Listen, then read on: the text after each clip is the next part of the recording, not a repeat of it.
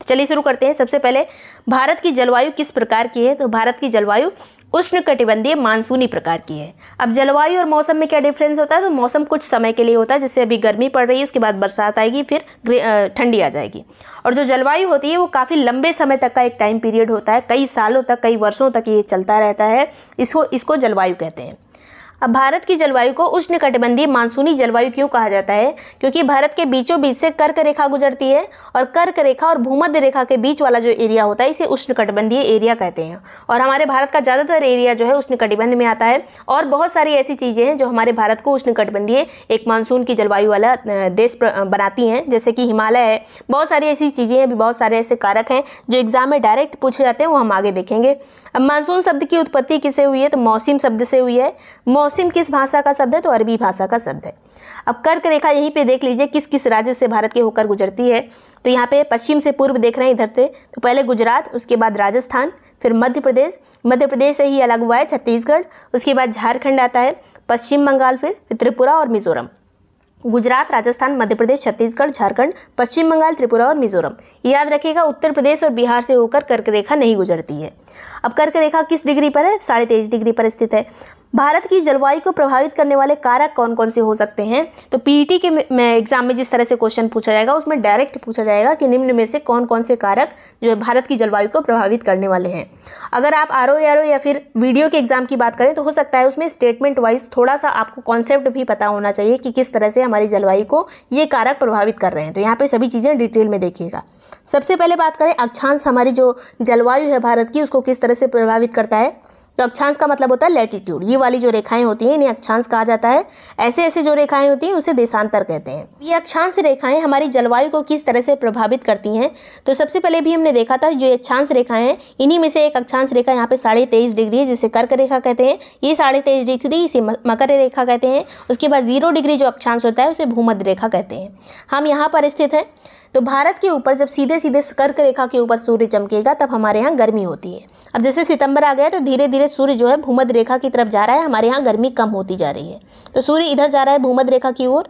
हम अगर zero degree पे होते तो हमारे यहाँ हमेशा सूर्य सीधे चमकता। ज़ीरो डिग्री पर अगर हम स्थित होते हैं भूमध्य रेखा पर तो रोज़ बारिश होती है दिन का तापांतर जो है बहुत कम होता है हमेशा एक ही तरह का टेम्परेचर बना रहता। है जैसे जैसे हम दूर जाएँगे टेम्परेचर में भी डिफरेंस जो है दिन और रात का वो बढ़ता जाता है। यहाँ पे अगर बात करें ज़ीरो डिग्री पे तो यहाँ दिन रात का टेम्परेचर सेम रहता है, लगभग थोड़ा बहुत डिफरेंस रहता है बस। उसके बाद जब ज़ीरो डिग्री से धीरे धीरे मकर रेखा पर सूर्य पहुँच जाएगा तो हमारे यहाँ से बहुत दूर हो जाएगा। तब हमारे यहाँ सीधी किरणें नहीं पहुँचेंगी सूर्य की, और हमारे यहाँ बहुत ज़्यादा ठंडी होगी। उस टाइम पर जो मकर रेखा पर स्थित देश होंगे जैसे ऑस्ट्रेलिया, वहाँ पे गर्मी पड़ेगी। जैसे जनवरी में गर्मी पड़ती है कहाँ पर? ऑस्ट्रेलिया में। तो इस तरह की चीज़ें होती हैं। ये हमारी जलवायु को, भारत की जलवायु को, ये अक्षांश रेखाएँ प्रभावित करती हैं। आगे बात करेंगे। हिमालय पर्वत किस तरह से हमारी जलवायु को प्रभावित करता है? तो ध्रुवों से आने वाली जो हवाएँ होती हैं, ठंडी हवाएँ, ये जैसे ध्रुव है। यहाँ पे सूर्य कभी भी सीधा नहीं चमकेगा तो उत्तरी ध्रुव से आने वाली जो हवाएँ होती हैं, उनको हिमालय रोक लेता है। इस तरह से हिमालय जो है हमारी रक्षा करता है ठंडी हवाओं से। इसके अलावा साइबेरिया वाले जो जंगल हैं जो रशिया में पाए जाते हैं, वो भी काफ़ी नज़दीक हैं उत्तरी ध्रुव के, इसलिए वहाँ पर ठंडी पाई जाती है। वहाँ से भी काफ़ी हवाएँ आती हैं, अगर हिमालय ना होता तो हमें हमेशा ठंडी लगती रहती। तो ये हिमालय जो है हमारी रक्षा करता है। आगे बात करेंगे ये एक प्रभावी जल विभाजक के रूप में, जलवायु विभाजक के रूप में हिमालय काम करता है। मानसूनी पवनों को रोककर उपमहाद्वीप में वर्षा का कारण भी बनता है। अगर बात करें जो मानसूनी हवाएँ जो इधर से आती हैं, वो इसी हिमालय पर्वत की वजह से रुक जाती है, नहीं तो आगे निकल जाती हैं और चाइना वगैरह में बारिश कराती हमारे यहाँ उतनी बारिश ना होती, इसलिए यहाँ पे आर्द्रता जो है, उसको रोकने का काम करता है हिमालय पर्वत। आगे बात करेंगे, जल और स्थल का वितरण। जल और स्थल का वितरण किस तरह से हमारी जलवायु को प्रभावित करता है? तो जल हमें पता है कि देर से गर्म होता है और देर से ठंडा होता है। अगर वहीं बात करें स्थल की तो स्थल जो है जल्दी ठंडा हो जाएगा, जल्दी से गर्म हो जाएगा। जैसे हमारी छत पे जो टंकी रहती, रखी रहती है पानी की, दिन में अगर ग्यारह बारह बजे तक की बात करें तो उतना गर्म पानी नहीं रहता है। लेकिन जैसे जैसे शाम होने लगती है, मौसम तो ठंडा होने लगता है शाम को, लेकिन पानी अभी भी गर्म बना हुआ है। तो धीरे धीरे वो ठंडा होने का प्रोसेस शुरू होता है, रात तक जाके कहीं पानी जो है ठंडा हो पाता है। उसी तरह से जल और स्थल का भी है, इधर अरब सागर है, इधर हिंद महासागर है इधर इधर बंगाल की खाड़ी है। तो जब शीत ऋतु में ठंडियों में ये जो सागर है काफ़ी टाइम तक ये ठंडा हुआ है। लगातार धीरे धीरे ठंडा हो, होता जाता है। लेकिन जब गर्मी आ जाती है उस टाइम तक ये ठंडा नहीं हो पाता। उसके हिसाब से ये स्थल वाला जो भाग है ये जल्दी से गर्म हो जाता है गर्मियों में। तब तक ये वाला जो पार्ट है पानी वाला पार्ट ये अभी ठंडा बना हुआ है। अब यहीं पे एक चीज़ और जान लीजिए, अगर दो जगह है, एक जगह ठंडी है, एक जगह गर्म है तो जो जगह ठंडी होती है, वहाँ पे वायुदाब ज़्यादा होता है क्योंकि यहाँ पे हवाएँ नीचे बैठती हैं। जो जगह गर्म होती है, वहाँ पे वायुदाब कम होता है क्योंकि हवाएँ ऊपर की तरफ़ उठती हैं। और एक चीज़ यहीं पर और जान लीजिए, जहाँ वायुदाब ज़्यादा होता है, उधर से हवा चलती है और जहाँ कम वायुदाब होता है, उसको कवर करने की कोशिश करती है। यही चीज़ यहाँ पर मानसून में भी होता है। जब ये सागर जो है, ठंडा है अभी, गर्मियों की बात करें, स्थलखंड जो है, गर्म हो गया है, सागर अभी भी थोड़ा ठंडा बना हुआ है तो हवाएँ इधर को चलेंगी और यही मानसून लाने का कारण बनती हैं। जैसे दक्षिण पश्चिम जो हमारा मानसून है, यहाँ पे थोड़ा ठंडी है, यहाँ से हवाएँ जो है, यहाँ पे वायुदाब ज़्यादा हो गए यहाँ से हवाएँ उठी, यहाँ पे गर्म है एरिया, इसको कवर करने की इन्होंने कोशिश की इन हवाओं ने, क्योंकि वायुदाब कम हो गया है, इसको कवर करेगी और यही जो है यहाँ से आर्द्रता उठाएगी और यहाँ पे बारिश करवाएगी। तो इस तरह से हमारी जलवायु डिसाइड होती है। समुद्र तट से दूरी भी हमारी जलवायु को प्रभावित करती है। जैसे जो एरिया समुद्र तट से दूर होगा, जैसे उत्तर प्रदेश की बात करें, यहाँ विषमकारी जलवायु पाई जाएगी, यानी अच्छी जलवायु नहीं पाई जाएगी। गर्मियों में खूब गर्मी पड़ेगी, सर्दियों में खूब ठंडी पड़ेगी, क्योंकि समुद्र का इसमें प्रभाव कम रहेगा। यहाँ पे जो समुद्र है, इससे दूर हो जाएगा तो गर्मियों में बहुत ज़्यादा यहाँ पर गर्मी पड़ेगी और कर्क रेखा भी यहीं से गुजरती है। ये वाले एरिया से होकर गुजरती है उत्तर प्रदेश से थोड़ी ही दूर पे है। उत्तर प्रदेश से होकर नहीं गुजरती है, लेकिन उसके थोड़ा सा दक्षिण से होकर गुजरती है और ये बहुत ज़्यादा गर्मी का कारण बनती है। आगे बात करेंगे, समुद्र तल से ऊंचाई। अगर कहीं भी बात करें, यहाँ एग्ज़ाम्पल ले लीजिए, जैसे आगरा और दार्जिलिंग। आगरा और दार्जिलिंग दोनों एक ही अक्षांश पर स्थित हैं। यहाँ पे उत्तर प्रदेश में आगरा है, उत्तर प्रदेश में आगरा हो गया, दार्जिलिंग यहाँ पर स्थित है। पश्चिम बंगाल के सबसे उत्तरी कोने पर है दार्जिलिंग। तो दोनों एक ही अच्छांश पर स्थित है, लेकिन जो दार्जिलिंग वाला एरिया है, वो हिमालय के प्रभाव के कारण थोड़ा ऊंचाई पर है, इसलिए वहाँ पर ठंडा बना, मौसम बना रहता है, जबकि आगरा वाला जो एरिया है, काफ़ी गर्मी रहती है यहाँ पर। तो ये चीज़ें प्रभावित करती हैं, ऊँचाई भी प्रभावित करती है। आगे बात करेंगे स्थलाकृति किस तरह से प्रभावित करती है, जो हमारी जलवायु है तो दक्कन और अरावली जो पहाड़ियाँ हैं, या विंध्यन सतपुड़ा, ये सभी चीज़ें हमारी जलवायु को प्रभावित करती हैं। जो शाखा इधर से गई यहाँ पे गारो खासी जो जयंतिया पहाड़ियाँ हैं, उसकी वजह से यहाँ पे बहुत बारिश होती है। यहाँ पे जो मेघालय वाला एरिया है मासिन राम में सबसे ज़्यादा बारिश होती है विश्व में। धीरे धीरे जैसे जैसे ये आगे बढ़ती जाती है, यहाँ पे हिमालय से टकराती है। इसके बाद यहाँ वाली एक शाखा इधर से जो जा रही है, वो यहाँ पे अरावली से जाकर टकराती है। यहाँ पे दक्कन वाले पठार है, इसलिए इधर वाले पश्चिमी घाट में इधर वर्षा ज़्यादा होती है। दक्कन का पठार जो है आर्द्रता को इधर नहीं जाने देता हवाओं को, इसलिए ये वाला एरिया जो है सूखा रह जाता है। आगे ये हवाएँ यहाँ पे टकराएँगी अरावली वाले पर्वत से, इस वाले पर्वत से, और उसके बाद यहाँ से हवाएँ मुड़ जाती हैं, उसके बाद कराची में पाकिस्तान की तरफ़ चली जाती हैं, इधर नहीं जा पाती ज़्यादा, इसलिए ये वाला जो एरिया है एकदम गर्मी रह जाती है। यहाँ पर राजस्थान में मरुस्थल बन जाता है तो ये अरावली पर्वत के कारण उधर हवाएँ प्रवेश नहीं कर पाती हैं। तो ये सभी चीज़ें प्रभावित करती हैं हमारी जलवायु को। आगे बात करेंगे मानसूनी हवाएँ किस तरह से प्रभावित करती हैं हमारी जलवायु को? तो जैसे अभी हमने बात की, गर्मियों में दक्षिणी पश्चिमी मानसून जो है आता है दक्षिणी पश्चिमी हवाएँ चलती हैं जो कि समुद्र से स्थल की तरफ़ चलती हैं। दक्षिणी पश्चिमी हवाएँ जो हैं, समुद्र से स्थल की तरफ़ गर्मियों में चलती हैं, जो हमारे यहाँ मानसून लाने का कारण बनती हैं। उसके बाद एक उत्तर पूर्वी शीतकालीन हवाएँ होती हैं जो सर्दियों में चलती हैं, स्थल से समुद्र की ओर। और इन्हीं हवाओं के कारण तमिलनाडु में वर्षा होती है। एक तमिलनाडु एक ऐसा राज्य है जहाँ पे ठंडियों में दिसंबर के टाइम पे बारिश होती है, जब मानसून वापस लौटता है। मानसून का जो निवर्तन होता है, जिसे मानसून के वापस जाने को निवर्तन कहा जाता है।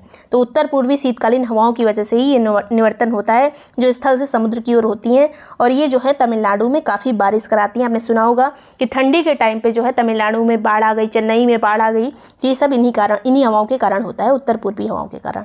आगे बात करेंगे ऊपरी वायु परिसंचरण क्या होता है? तो जेट हवाएँ चलती हैं। दो तरह की जेट हवाएँ होती हैं, एक पश्चिमी, एक पूर्वी। जो पश्चिमी जेट हवाएँ होती हैं, ये जो स्थल होता है, स्थल भाग उसे आठ किलोमीटर की ऊंचाई पर चलती हैं। बहुत तेज़ हवाएँ होती हैं ये, और यही पश्चिमी विक्षोभ के लाने का कारण होती हैं। पश्चिमी पश्चिमी विक्षोभ किस तरह से आता है? ये भूमध्य रेखा वाला जो एरिया है, वहाँ से आर्द्रता उठाती हैं ये हवाएँ। उसके बाद जो है, अगर दिल्ली वगैरह की बात करें तो ठंडियों में यहाँ पर कभी कभी ओला पड़ता है दिल्ली में। बारिश होती है सर्दियों में बिल्कुल। तो ये किस कारण होता है? तो पश्चिमी विक्षोभ के कारण, जो कि जट हवाओं की वजह से होता है। आगे बात करेंगे। पूर्वी जेट की यानी पूर्वी जेट स्ट्रीम की बात करें तो गर्मियों में ये तिब्बत के ऊपर चलती हैं। तिब्बत वाला जो पठार है, जहाँ पे खूब गर्मी पड़ती है, उसके ऊपर ये बहती हैं हवाएँ, और बहुत गर्मी हो जाती है तिब्बत के पठार के ऊपर। इस वजह से वायुदाब बहुत कम हो जाता है। उस वायुदाब को कवर करने के लिए समुद्र से हवाएँ उठती हैं उस वायुदाब को कवर करने के लिए आती हैं, और ये मानसून को लाने का भी कारण बनती हैं। तो मानसून लाने में हेल्प करती है, हमारी जलवायु को निर्धारित करने में जट हवाएँ भी हमारा जो है हेल्प करती हैं। तो ये सभी चीज़ें हो गई। आगे बात करेंगे, एल नीनो और ला नीना क्या होता है? तो एल नीनो ला नीना में एक ही डिफरेंस है। यहाँ पे एक प्रशांत महासागर है। ये आपने देखा ही होगा मैप वगैरह देखा होगा। तो प्रशांत महासागर के इधर एशिया है, इधर ऑस्ट्रेलिया है और इधर दक्षिणी, उत्तरी अमेरिका, इधर दक्षिणी अमेरिका है। तो जब एल नीनो आता है तो ये वाला जो एरिया दक्षिणी अमेरिका के किनारे वाला एरिया इधर पेरू स्थित है। पेरू के पास पानी जो है, ये बहुत गर्म हो जाता है। और जब पानी बहुत गर्म हो जाएगा तो इस वाले एरिया में काफ़ी अच्छा खासा बारिश होगी, बाढ़ आएगी, सब होगा इधर एल नीनो लेकिन इधर वाला जब इधर ठंडा हो जाएगा, इधर बारिश हो रही है, लेकिन ये वाला पानी ठंडा हो गया। जब यहाँ पर ठंडा हो जाएगा तो इधर बिल्कुल सूखा पड़ जाएगा।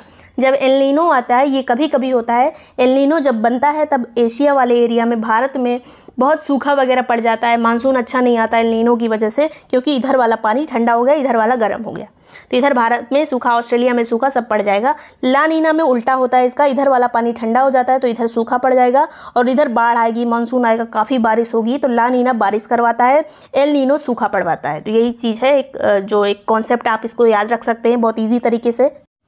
आगे बात करेंगे। यहाँ पे देख लीजिए, कुछ क्वेश्चन इस तरह से पूछ लिए जाते हैं कि भारत में सबसे पहले मानसून कहाँ पे हिट करता है? तो सबसे पहले यहाँ पे केरल में हिट करता है एक जून के टाइम पे। अब किसी किसी बुक में ये डेट वगैरह अलग लिखी मिल सकती है, लेकिन एक जून को ज़्यादातर यहाँ पे मानसून आ जाता है और एक शाखा इधर जाती है, एक शाखा इधर जाती है और ये वाली शाखा जब इधर जाएगी तो यहाँ पर मानसी राम में काफ़ी बारिश कराएगी मेघालय में, उसके बाद धीरे धीरे आगे जाएगी और इसकी आर्द्रता कम होती जाएगी। यहाँ पर जैसे जैसे हम उत्तर प्रदेश की ही बात करें तो पूर्व में ज़्यादा बारिश होगी और पश्चिम में कम होगी। गोरखपुर वाले एरिया में ज़्यादा बारिश होती है, वही मथुरा वगैरह दिल्ली की साइड जैसे जैसे बढ़ते जाएँगे, बारिश भी कम होती जाएगी क्योंकि आर्द्रता कम हो रही है। अब दूसरा वाला जो यहाँ पे एक शाखा है, वो इधर की तरफ़ जाती है। पश्चिमी घाट पे खूब बारिश होगी, पूर्वी घाट पे नहीं होगी, दक्कन के पठार की तरफ़ वजह से। उसके बाद जब ये आगे बढ़ेगी, इधर अरावली से टकराएगी, यहाँ पे विंध्यन रेंज है, इधर सतपुड़ा रेंज है, थोड़ा बहुत यहाँ से जाएगी हवा और थोड़ी आर्द्रता लेके जाएगी और थोड़ी ही बारिश कराएगी। तो ये वाला एरिया जो है, काफ़ी सूखा रह जाता है। उसके बाद आगे बात करें इधर अरावली से टकरा के जब ये हवाएँ इधर की तरफ़ घूमेंगी, जब इधर की तरफ़ घूमेंगी तो ये पाकिस्तान चली जाएँगी और इधर ये वाला एरिया जो है, राजस्थान वाला एरिया सूखा पड़ जाता है यहाँ पर और इधर जो है जो बुंदेलखंड वाला एरिया है वहाँ पर भी सूखा पड़ा रहता है। और यहाँ पे आते आते इस जगह पे आते आते तो सभी हवाओं की आर्द्रता इधर वाले की, शाखा की भी आर्द्रता खत्म हो जाती है, इधर की भी खत्म हो जाती है तो लेह में सबसे कम जो है बारिश होती है, सबसे ज़्यादा मासिन राम में, सबसे कम लेह में। और एक चीज़ और यहाँ पे देख लीजिए, ये वाला एरिया जो है कोरोमंडल तट के कहते हैं इसे, तमिलनाडु वाला एरिया। यहाँ पे दिसंबर में बारिश होती है, जो लौटता हुआ मानसून होता है, उससे यहाँ पे बारिश होती है चेन्नई वगैरह में, थोड़े एरिया में। आगे बात करेंगे, सबसे ज़्यादा वर्षा हमने देखा था अभी मासिन राम मेघालय में, सबसे कम लेह में होती है। किस तट पर लौटते हुए मानसून से वर्षा होती है? तो कोरोमंडल तट पर। इसके अलावा जैसलमेर में वर्ष, औसत वर्षा कितनी होती है? यहाँ पे सूखा पड़ा रहता है तो यहाँ पे बारह सेंटीमीटर औसत वर्षा होती है। कुल भारत में कितनी औसत वर्षा होती है? तो 112 से 125 सेंटीमीटर औसतन वर्षा होती है भारत में। जैसलमेर में बहुत कम होती है 12 सेंटीमीटर। आगे एक चीज़ और पूछा जाता है कि किस दिन दिन रात बराबर होते हैं? तो ये सभी चीज़ें किस दिन सबसे बड़ा दिन होता है या फिर किस दिन सबसे छोटा दिन होता है? तो सबसे छोटे दिन से शुरू करते हैं बाईस दिसंबर को। बाईस दिसंबर को जो सूर्य है, वो मकर रेखा पर चमकता है। ये मकर रेखा है, हम हम जो है कर्क रेखा पर स्थित हैं। हमसे सूर्य काफ़ी दूर है। अब यहाँ पे हम बात कर रहे हैं, सूर्य दूर है, लेकिन ऐसा नहीं होता। पृथ्वी घूमती है, सूर्य नहीं घूमता है। और जो पृथ्वी है, जिस साइड पे उसके सूर्य आ जाएगा, वही वाला एरिया ज़्यादा गर्मी पड़ेगी, जहाँ पर किरणें सीधी पड़ेंगी। तो सूर्य जब सीधा मकर रेखा पर चमकता है तो कर्क रेखा पर काफ़ी सर्दी पड़ती है। और ये बाईस दिसंबर का दिन होता है, जब सीधा मकर रेखा पर चमकता है, उस टाइम पर कर्क रेखा पर सबसे छोटा दिन होता है, बाईस दिसंबर को। आगे बात करेंगे यहाँ पर। इधर वाला जो ये वाला चीज़ है 21 मार्च, यहाँ पे हो गया 22 दिसंबर 22 दिसंबर के बाद 21 मार्च देखेंगे, जब सूर्य जो है भूमध रेखा यानी ज़ीरो डिग्री पर सीधा चमकता है, उस टाइम पे दिन और रात बराबर होते हैं। दिन और रात बराबर कब होते हैं? तो बसंत ऋतु में 21 मार्च को दिन रात बराबर होते हैं कर्क रेखा पर। आगे बात करेंगे इक्कीस जून की बात करें तो सीधा जो है सूर्य कहाँ पे चमकेगा? सीधा सूर्य चमकेगा कर्क रेखा पर। जब कर्क रेखा पर सीधा चमकता है तो हमारे यहाँ सबसे बड़ा दिन होता है इक्कीस जून और यहाँ पे वहीं मकर रेखा पे सबसे छोटा दिन हो जाएगा। तो इक्कीस मार्च को हमारे यहाँ सबसे बड़ा दिन होता है। आगे यहाँ पे बात करें, अब दो बार दिन रात बराबर होते हैं। एक हमने देखा था यहाँ पर, यहाँ पे इक्कीस मार्च को दिन रात बराबर हुआ, उसके बाद एक बार और बराबर होगा। जब वापस से जब सूर्य जाएगा और भूमध्य रेखा पर सीधा चमकेगा, जब यहाँ से वापस कर्क रेखा से फिर से जा रहा है मकर रेखा के साइड तो एक बार फिर से तेईस सितंबर को दिन रात बराबर होंगे जब ज़ीरो डिग्री पे चमकेगा। तो ये सब चीज़ें हो गई जो एग्ज़ाम में पूछी जा सकती हैं। वीडियो पसंद आया हो तो लाइक और सब्सक्राइब कर लीजिएगा। आर ओ यार या फिर वीडियो का पेड ग्रुप ज्वाइन करने के लिए seven three five five four five nine one three five पर कॉन्टैक्ट कर सकते हैं। मैप से देख लेते हैं कुछ इंपॉर्टेंट चीज़ें, उसके बाद हम मेन टॉपिक पे आएँगे। तो सबसे पहले यहाँ पर देखते हैं, हिमालय के ऊपर यहाँ पे एक नॉट है, एक गांठ है, जिसका नाम है पामीर गांठ। ये पामीर जो गांठ है, इससे दो पर्वत श्रेणियाँ जुड़ी हुई हैं। पहली है इधर हिंदुकुश श्रेणी, इधर है कुंडलून पर्वत। उसके बाद इसके नीचे यहाँ से हिमालय शुरू होता है। अब हिमालय के बारे में हमें डिटेल में पढ़ना है। तो हिमालय की जो सबसे उत्तरी वाली एक, ये वाली श्रेणी है, इसे कहते हैं काराकोरम। अब ये अरेंज करने को आ जाता है कि उत्तर से दक्षिण अरेंज करिए इसे। तो सबसे पहले ऊपर आएगी काराकोरम, उसके बाद आती है यहाँ पर लद्दाख श्रेणी, फिर आती है जास्का श्रेणी। अब ये तीनों जो श्रेणियाँ हैं, ये किसका भाग है? तो ये ट्रांस हिमालय का भाग है, जो अभी हम आगे देखेंगे। इसके बाद एक लंबी सी श्रृंखला आती है, सबसे ऊंचाई ज़्यादा इसी की है तो इसे कहते हैं बृहद हिमालय। ये है बृहद हिमालय। इसमें जो है, सबसे ऊँची चोटी है एवरेस्ट। बृहद हिमालय की सबसे ऊँची चोटी और विश्व की सबसे ऊँची चोटी कौन सी है? एवरेस्ट, जो कि नेपाल में स्थित है। अब यहाँ पे हमने जो बात की थी, अभी ट्रांस हिमालय की। ट्रांस हिमालय की सबसे ऊँची चोटी है केटू या फिर गार्डविन आस्टिन। अगर पूछा जाए, भारत की सबसे ऊँची चोटी कौन सी है तो केटू या गार्डविन आस्टिन इसे कहा जाता है। तो ये हो गई भारत की, ये हो गई विश्व की सबसे ऊँची चोटी। आगे बात करते हैं अब नीचे जो आएगा बृहद हिमालय के बाद, अगला जो श्रेणी है वो है पीर पंजाल, ये हो गई पीर पंजाल और ये हो गई धौलाधर। पीर पंजाल और धौला धौलाधर जो हैं, ये लघु हिमालय के पार्ट हैं। लघु हिमालय को मध्य हिमालय भी कहा जाता है। तो ये पूछ लिया जाता है, मध्य हिमालय या लघु हिमालय में कन्फ्यूज़न नहीं होना चाहिए। तो मध्य हिमालय और लघु हिमालय एक ही चीज़ है। आगे जो सबसे सबसे कम ऊंचाई वाली और सबसे जो दक्षिणी श्रेणी है, वो है शिवालिक। अब इधर जो आता है, ये शिवालिक शिवालिक पूरा यहाँ से लेके यहाँ तक फैला हुआ है, ये है शिवालिक की श्रेणियाँ। अब यहाँ पे जो बृहद हिमालय वाली श्रेणियाँ, पर्वत श्रेणियाँ जो ये वाली दी हुई हैं, इन्हें पढ़ना है हमें और इसे पूछा जाता है कि कौन से क्रम में है ये, पश्चिम से पूर्व या पूर्व से पश्चिम पूछ लिया जाए तो यहाँ पे हम पश्चिम से पूर्व देखेंगे। इधर है कामेट्स पर्वत श्रेणी, इधर है नंदा देवी। तो ये दोनों श्रेणियाँ कहाँ पर हैं? कामेट और नंदा देवी तो दोनों उत्तराखंड में स्थित हैं। उसके बाद ये वाली जो पर्वत श्रेणी है ये सभी नेपाल में है ये भा, भारत में नहीं आती हैं। तो सबसे पहले यहाँ पे हो गई यहाँ पे पश्चिम से शुरू करते हैं पहले धौलागिरी जो कि नेपाल में स्थित है फिर आती है अन्नपूर्णा फिर आती है एवरेस्ट फिर मकालू और ये है कंचनजंगा। तो कंचनजंगा जो है ये पूरी तरह से भारत में स्थित है सिक्किम में स्थित है कंचनजंगा। तो हमारी सेकंड नंबर की जो सबसे ऊँची चोटी है वो है कंचनजंगा। सबसे ऊँची थी केटू और दूसरे नंबर पर आ जाती है कंचनजंगा। और ये पूरी तरह से भारत के क्षेत्र में है। अगर केटू की बात करें तो वो पीओके वाले एरिया में है, जो पाकिस्तान ने ऑक्यूपाइड कर लिया है। पाकिस्तान ऑक्यूपाइड जो कश्मीर है, उसमें स्थित है केटू लेकिन कंचनजंगा पूरी तरह से सिक्किम में, भारतीय हिस्से में स्थित है। आगे बात करेंगे, इधर तीन चार पहाड़ियाँ हैं जो पूछी जा सकती हैं अरुणाचल प्रदेश में। एक है डाफला, अब यही क्रम याद होना चाहिए, डाफला, मिरी, अबोर और मिसमी। डाफला, मिरी, अबोर और मिसमी ये चार पहाड़ियाँ हैं जो कि अरुणाचल प्रदेश में स्थित है। उसके बाद यहाँ पर एक पर्वत श्रेणी है जिसका नाम है नामचा वर्वा नामचा वर्वा श्रेणी जो है, यहीं से आके जब यहाँ से ब्रह्मपुत्र नदी निकलती है तो नामचा वर्वा से ही घूम जाती है और उसके बाद भारत में प्रवेश कर जाती है। तो नामचा वर्वा अरुणाचल प्रदेश में स्थित है। आगे बात करेंगे चाइना और अरुणाचल प्रदेश की सीमा पर है नामचा वर्वा फिर इसके नीचे आता है पटकाई बुम ये वाली पटकाई बुम पहाड़ियाँ हैं। इसे भी उत्तर से दक्षिण अरेंज करने को आता है। पहले पटकाई बुम आती है, उसके बाद नागा पहाड़ी आती है, फिर लास्ट में आती है मीजो पहाड़ी। पटकाई बुम, नागा और मीजो पहाड़ी। फिर मेघालय की तीन पहाड़ियाँ हैं जो इसी क्रम में याद होनी चाहिए, गारो, खासी और जयंतिया। गारो, खासी और जयंतिया तीन पहाड़ियाँ स्थित हैं मेघालय में। उसके बाद यहाँ पे बीच में एंटर करते हैं। ये राजमहल पहाड़ी है ये वाली राजमहल पहाड़ी है। उसके बाद पूछा जा सकता है, ये सभी जो पहाड़ियाँ दी हुई हैं, किस क्रम में है, पश्चिम, पूरब? तो ये चीज़ें इंपॉर्टेंट है। उसके बाद यहाँ पे कैमूर पहाड़ी है। कैमूर रेंज जो उत्तर प्रदेश के दक्षिणी एरिया में है, मध्य प्रदेश से सटी हुई। उसके बाद यहाँ पे गड़जात पहाड़ियाँ जो कि उड़ीसा में स्थित है। ये सब आपके दिमाग में इमेज होनी चाहिए कि कहाँ पे किसके ऊपर, किसके नीचे क्या है। ये है मैकाल पर्वत श्रेणी। उसके बाद ये है विंध्यन रेंज, विंध्य पर्वत श्रेणी है। उसके बाद इधर है सतपुड़ा। बीच से इसके नर्मदा नदी बहती है। तो सतपुड़ा की सबसे ऊँची चोटी धूपगढ़ है। धूपगढ़ जो है, वो किस पहाड़ी पर स्थित है? तो महादेव पहाड़ी पर स्थित है। अब महादेव पहाड़ी सतपुड़ा का ही पार्ट है, लेकिन इसकी सबसे ऊँची चोटी अगर पूछा जाए तो धूपगढ़ है। और ये हो गई विंध्यन रेंज। अब यहाँ से नर्मदा नदी निकलती है, ताप्ती नदी कहाँ से निकलती है? सतपुड़ा के दक्षिण से। इन दोनों के बीच से नर्मदा निकलती है और सतपुरा के दक्षिण से जो है, ताप्ती नदी निकलती है, जो कि मध्य प्रदेश से उद्गम होता है बैतूल ज़िले से। उसके बाद जाके अरब सागर में गिर जाती है। आगे बात करेंगे यहाँ पर। गुजरात की तीन पहाड़ियाँ जो पूछी जा सकती हैं, निम्न में से कौन सी गुजरात में स्थित नहीं है? इस तरह से क्वेश्चन आता है तो मांडव स्थित है, बर्दा स्थित है और गिर स्थित है। मांडव, बर्दा और गिर कहाँ की पहाड़ियाँ हैं पूछा जाए तो? ये गुजरात की पहाड़ियाँ हैं। उसके बाद यहाँ पे राजस्थान की पहाड़ी जो एक है, राजस्थान की पर्वत श्रेणी, जिसका नाम है अरावली। और ये अरावली श्रेणी जो है, पर्वत श्रेणी केवल राजस्थान में नहीं है, दिल्ली से लेके राजस्थान होते हुए गुजरात तक फैली हुई है अरावली पर्वत श्रेणी। अगर सबसे ऊँची चोटी पूछा जाए तो गुरु शिखर है। सबसे ऊँची चोटी जो है अरावली की, वो गुरु शिखर है, जो कि राजस्थान में स्थित है। आगे बात करते हैं यहाँ पर। पश्चिमी घाट और पूर्वी घाट की सबसे पहले पश्चिमी घाट में कौन कौन सी पर्वत श्रेणियाँ हैं? तो यहाँ सबसे पहले महाराष्ट्र की बात करें तो यहाँ पे बालाघाट आती है, अजंता पर्वत श्रेणी आती है, हरिश्चंद्र श्रेणी आती है। उसके बाद सबसे ऊँची अगर पर्वत चोटी की बात करें तो काल सुबाई जो है महाराष्ट्र में स्थित है। सबसे ऊँची पर्वत चोटी जो है पश्चिमी घाट की। उसके बाद एक पर्वत चोटी आती है, जिसका नाम है महाबलेश्वर। यह है महाबलेश्वर। उसके बाद यहाँ पर आती है ब्रह्मगिरी। ब्रह्मगिरी कर्नाटक में स्थित है। यह है बाबा बुदन की पहाड़ियाँ जो कि कर्नाटक में स्थित है। फिर एक जो सबसे नीचे आती है, यहाँ पर दोद्दा बेटा। दोद्दा बेटा पश्चिमी घाट और पूर्वी घाट जहाँ पे मिलता है तो यहाँ पे एक नीलगिरी पर्वत श्रेणी है। तो नीलगिरी की सबसे ऊँची चोटी कौन सी है? दोद्दा बेटा। आगे फिर दक्षिण में आते हैं यहाँ पर अन्नामेलाई पहाड़ियाँ। इसकी जो सबसे ऊँची चोटी है अनाई मुडी है। अनाई मुडी अगर पूछा जाए कि दक्षिणी भारत की सबसे ऊँची चोटी कौन सी है तो अनाईमुडी दक्षिण भारत की सबसे ऊँची चोटी है। अब आगे यहाँ पे पूर्वी घाट की बात करें तो सबसे पहले यहाँ पर महेंद्रगिरी पर्वत श्रेणी आती है, उड़ीसा में स्थित है। फिर दो पहाड़ियाँ यहाँ पर, आंध्र प्रदेश में नल्ला मल्ला और वेलीकोंडा। नल्ला मल्ला और वेलीकोंडा कहाँ पे आंध्र प्रदेश में।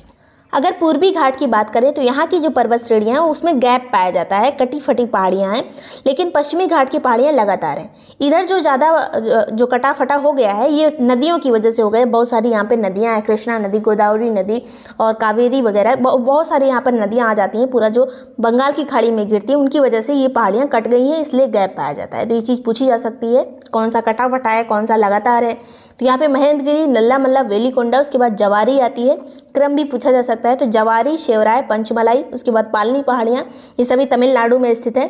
उसके बाद सबसे दक्षिणी अगर पर्वत श्रेणी पूछी जाए, दक्षिण भारत में सबसे ज़्यादा, जो सबसे लास्ट में है, वो है कार्डमम पहाड़ी, या फिर इसे इलायची पहाड़ी भी कहा जाता है। तो नल्ला मल्ला वेलीकोंडा जवारी सेवराय पंचमलाई, पालनी, उसके बाद कार्डमम। ये सभी चीज़ें इंपॉर्टेंट हैं, ध्यान से देखिएगा। उसके बाद यहाँ पर एक पर्वत श्रेणी आती है, अराकानियोमा, जो कि यहाँ पे म्यांमार से फैली हुई, लगातार इसी का हिमालय का ही पार्ट माना जाता है, जो समुद्र के नीचे दब गया है। आगे बात करते हैं यहाँ पर, अब थ्योरी पार्ट पे, और ये बहुत ज़्यादा इंपॉर्टेंट टॉपिक है, कई सारे यहाँ से इंपॉर्टेंट फैक्ट आपको मिल सकते हैं, जो सभी एग्ज़ाम्स के लिए इंपॉर्टेंट होंगे। भारत की भू आकृतिक संरचना की बात करें तो भारत को जो है छः पार्ट में डिवाइड किया गया है। और ये सभी छः पार्ट देख लीजिए। पहले उत्तर और उत्तर पूर्वी हिमालय हो गया। पहला नंबर, ये पहला नंबर दिया हुआ है उत्तर और उत्तर पूर्वी हिमालय। पूरा पहला नंबर हो गया। फिर उत्तरी भारत का विशाल मैदान, ये दूसरा वाला पार्ट हो गया, जो मैदानी पार्ट है। फिर भारतीय मरुस्थल, ये तीसरा पार्ट हो गया। फिर प्रायद्वीपीय पठार, जो कि चौथा पार्ट हो गया यहाँ पर। प्रायद्वीपीय पठार का। उसके बाद तटीय मैदान, जो तटीय, तटों पर मैदान पाए जाते हैं समुद्र की वजह से, वो हो गए तटीय मैदान पाँचवें नंबर पे। फिर आता है भारत के द्वीप समूह, जो छोटे छोटे लक्षद्वीप या फिर अंडमान निकोबार द्वीप समूह है, वो आ जाएँगे द्वीप वाले पार्ट में। अब यहाँ पे देखते हैं उत्तर और उत्तर पूर्वी हिमालय की बात। तो हिमालय की जो उत्पत्ति है, किस वजह से हुई? तो भारतीय प्लेट और यूरोसियन प्लेट के आपस में टकराव की वजह से हिमालय की उत्पत्ति हुई थी। अब इसकी बात करें, हिमालय जो है, ये जम्मू कश्मीर, लद्दाख से पूर्व में अरुणाचल प्रदेश तक फैला हुआ है। जम्मू कश्मीर, लद्दाख से लेकर पूर्व में अरुणाचल प्रदेश तक फैला हुआ है। टोटल अगर लंबाई की बात करें तो लगभग पच्चीस पच्चीस सौ किलोमीटर इसकी लंबाई है। और ये कब बना था, किस काल में, अगर पूछा जाए तो टर्सरी काल में ये बना था। अब आर ओ आर वाला जो ग्रुप है, उसमें टर्सरी काल कब था, ये सब चीज़ें जो है, उसमें प्रोवाइड कर दी जाएँगी। पीटी के एग्ज़ाम के लिए इतना इंपॉर्टेंट नहीं है। अब अगर पूछा जाए हिमालय किधर की तरफ़ चौड़ा है, किधर की तरफ़ सकरा है तो पश्चिम के साइड यानी लद्दाख और जम्मू कश्मीर वाला जो एरिया है, वहाँ पे इसकी चौड़ाई ज़्यादा है, लगभग 400 किलोमीटर है और अपेक्षाकृत कम ऊँचा है। अगर बात करें पूर्वी एरिया से तो वहाँ पे ऊंचाई ज़्यादा है और सकरा है। तो पूर्व में बात करें तो यहाँ पे सकरा है, लगभग 160 किलोमीटर में ही फैल गया है और ऊंचाई लेकिन ज़्यादा हो गई है, अधिक ऊँचा है। पश्चिमी की एरिया की बात करें तो यहाँ पे चौड़ाई ज़्यादा हो गई है, लेकिन जो ऊंचाई है वो कम है। तो ये चीज़ याद रखिएगा। आगे बात करें, भारत की ओर जो है उत्तल में है, ये हिमालय पर्वत जो है, भारत की ओर उत्तल है और तिब्बत की ओर ये अवतल है। तिब्बत की ओर ये अवतल है, भारत की ओर उत्तल है। आगे बात करते हैं यहाँ पर। उत्तर से दक्षिण हिमालय को निम्न प्रकार से बांटा गया है। ट्रांस हिमालय कहा गया है, बृहद हिमालय, उसके बाद मध्य हिमालय या लघु हिमालय आता है। फिर शिवालिक जिसे बा हिमालय कहते हैं, फिर उत्तर पूर्वी वाले को जिसे पूर्वांचल पर्वत श्रेणियाँ कहा जाता है, जो उत्तर पूर्वी भारत में फैली हुई हैं। अगर एक पार्ट ये बना दे तो ये भी हो जाएगा। आगे बात करते हैं। प्रादेशिक अगर संकल्पना की बात करें तो हिमालय को चार पार्ट में डिवाइड किया गया है और ये प्रादेशिक विभाजन किसने किया है तो सिडनी बुर्डार्ड ने किया है, इनका नाम पूछा जा सकता है। अभी चार पार्ट कौन कौन से हैं तो पहला है पंजाब हिमालय। ये नदियों के हिसाब से बांटा गया है तो पंजाब हिमालय, सिंधु और सतलज के बीच का जो पार्ट होता है, उसे पंजाब हिमालय कहा गया है। इसकी जो लंबाई है, पाँच सौ साठ किलोमीटर है। जम्मू कश्मीर, हिमाचल वाला जो एरिया है, उसे पंजाब हिमालय कहा गया है। आगे जो बात करेंगे, कुमाऊँ हिमालय, जो ज़्यादातर उत्तराखंड वाले एरिया में सीमित है, और इसका जो नदियों की बात करें तो सतलज और काली नदी के बीच वाला जो हिमालय है, उसे कुमाऊँ हिमालय कहा गया है। इसकी लंबाई 320 किलोमीटर है। इसकी सबसे ऊँची चोटी की बात करें तो नंदा देवी, जो कि उत्तराखंड में स्थित है, सबसे ऊँची चोटी है कुमाऊँ हिमालय की। अगला है यहाँ पर नेपाल हिमालय, जो कि काली और तीस्ता नदी के बीच में स्थित है नेपाल हिमालय। इसकी जो लंबाई है सबसे ज़्यादा अगर पूछा जाए चारों में, सबसे ज़्यादा लंबाई किसकी है तो कोई यहाँ पे नेपाल हिमालय की और सबसे कम लंबाई किसकी है तो कुमाऊँ हिमालय इससे पहले वाले की। तो नेपाल हिमालय की लंबाई आठ सौ किलोमीटर है, और इसी में सभी प्रमुख जो पर्वत श्रेणी है सबसे ऊँची वाली यहीं पर स्थित है। माउंट एवरेस्ट स्थित है, कंचनजंगा, धौलागिरी, मकालू, ये सभी नेपाल हिमालय के पार्ट हैं। आगे बात करेंगे असम हिमालय। ये तीस्ता या तीस्ता से लेकर दिहांग नदी, जिसे ब्रह्मपुत्र नदी कहा जाता है, उसके बीच फैला हुआ है। लंबाई इसकी है 750 किलोमीटर और यहाँ की जो पर्वत श्रेणियाँ हैं, प्रमुख वो है कुला कांगड़ी नामचा वर्वा नागा पहाड़ी ये सभी असम हिमालय के पार्ट हैं। आगे बात करते हैं यहाँ पर। अब ट्रांस हिमालय क्या होता है? तो ट्रांस हिमालय या फिर इसे तिब्बतियन हिमालय भी कहा जाता है। ट्रांस हिमालय और बृहद हिमालय के बीच में एक जोन पाया जाता है। इस जोन का नाम पूछा जा सकता है तो इसका नाम है Indus Indus Tsangpo zone. Indus कहते हैं सिंधु नदी को सांगपो कहते हैं ब्रह्मपुत्र नदी को। तो ट्रांस हिमालय और बृहद हिमालय को कौन सा जोन अलग करता है? तो इंडस सांगपो जोन अलग करता है। अब ट्रांस हिमालय की प्रमुख पर्वत श्रेणियाँ जो हमने देखी थी अभी। काराकोरम श्रेणी, लद्दाख श्रेणी जास्कर श्रेणी और कैलाश श्रेणी भी ट्रांस हिमालय का ही पार्ट है, याद रखिएगा। इनमें से कोई भी पूछा जा सकता है कि ये किस हिमालय का भाग है तो ये सभी ट्रांस हिमालय के भाग हैं। इसके अलावा जो प्रमुख ग्लेशियर हैं, जैसे Siachen glacier, Baltoro glacier, Biafo glacier या फिर हिस्पर ग्लेशियर, ये सभी जो हैं ट्रांस हिमालय में आते हैं। काराकोरम को उच्च एशिया की रीढ़ भी कहा गया है तो पूछा जा सकता है डायरेक्ट ऐसे क्वेश्चन, उच्च एशिया की रीढ़ किसे कहते हैं? तो काराम कोरम को कहते हैं। लद्दाख और जास्कर के बीच में सिंधु नदी बहती है, याद रखिएगा, सिंधु नदी किन दो श्रेणियों के बीच में बहती है? तो लद्दाख और जास्कर के बीच से बहती है। और यहाँ पे एक कटाव ये बनाती है, बुंजी के पास एक कटाव बनता है। भारत का सबसे गहरा गॉर्ज कौन सी नदी बनाती है? तो सिंधु नदी बनाती है बुंजी के पास। और ये कितने मीटर का गॉर्ज बनाती है? तो पाँच हज़ार दो सौ मीटर का। तो अगर कोई जो नदी है, आ रही है ऊंचाई से और गिर के गड्ढा नुमा एक संरचना बना देती है, उसी को गॉर्ज कहा जाता है। आगे बात करते हैं। बृहद हिमालय या फिर महान हिमालय, जिसे हिमाद्री कहा गया है। इसका तीन नाम है, बृहद हिमालय, महान हिमालय या फिर हिमाद्री। इसका विस्तार कहाँ से कहाँ तक है? तो सिंधु नदी से लेकर नामचा वर्वा पूरा सिंधु से नामचा वर्वा जो कि अरुणाचल प्रदेश में स्थित है, वहाँ तक ये फैला हुआ है। समानांतर वलय श्रेणियों से ये निर्मित है। वलयन से बना हुआ है ये बृहद हिमालय। इसके अलावा बृहद हिमालय, लघु हिमालय से किस से अलग होता है? कौन से जोन से? तो मेन सेंट्रल थ्रस्ट कहा जाता है इसे। इसके द्वारा ये बृहद हिमालय जो है, लघु हिमालय से अलग होता है।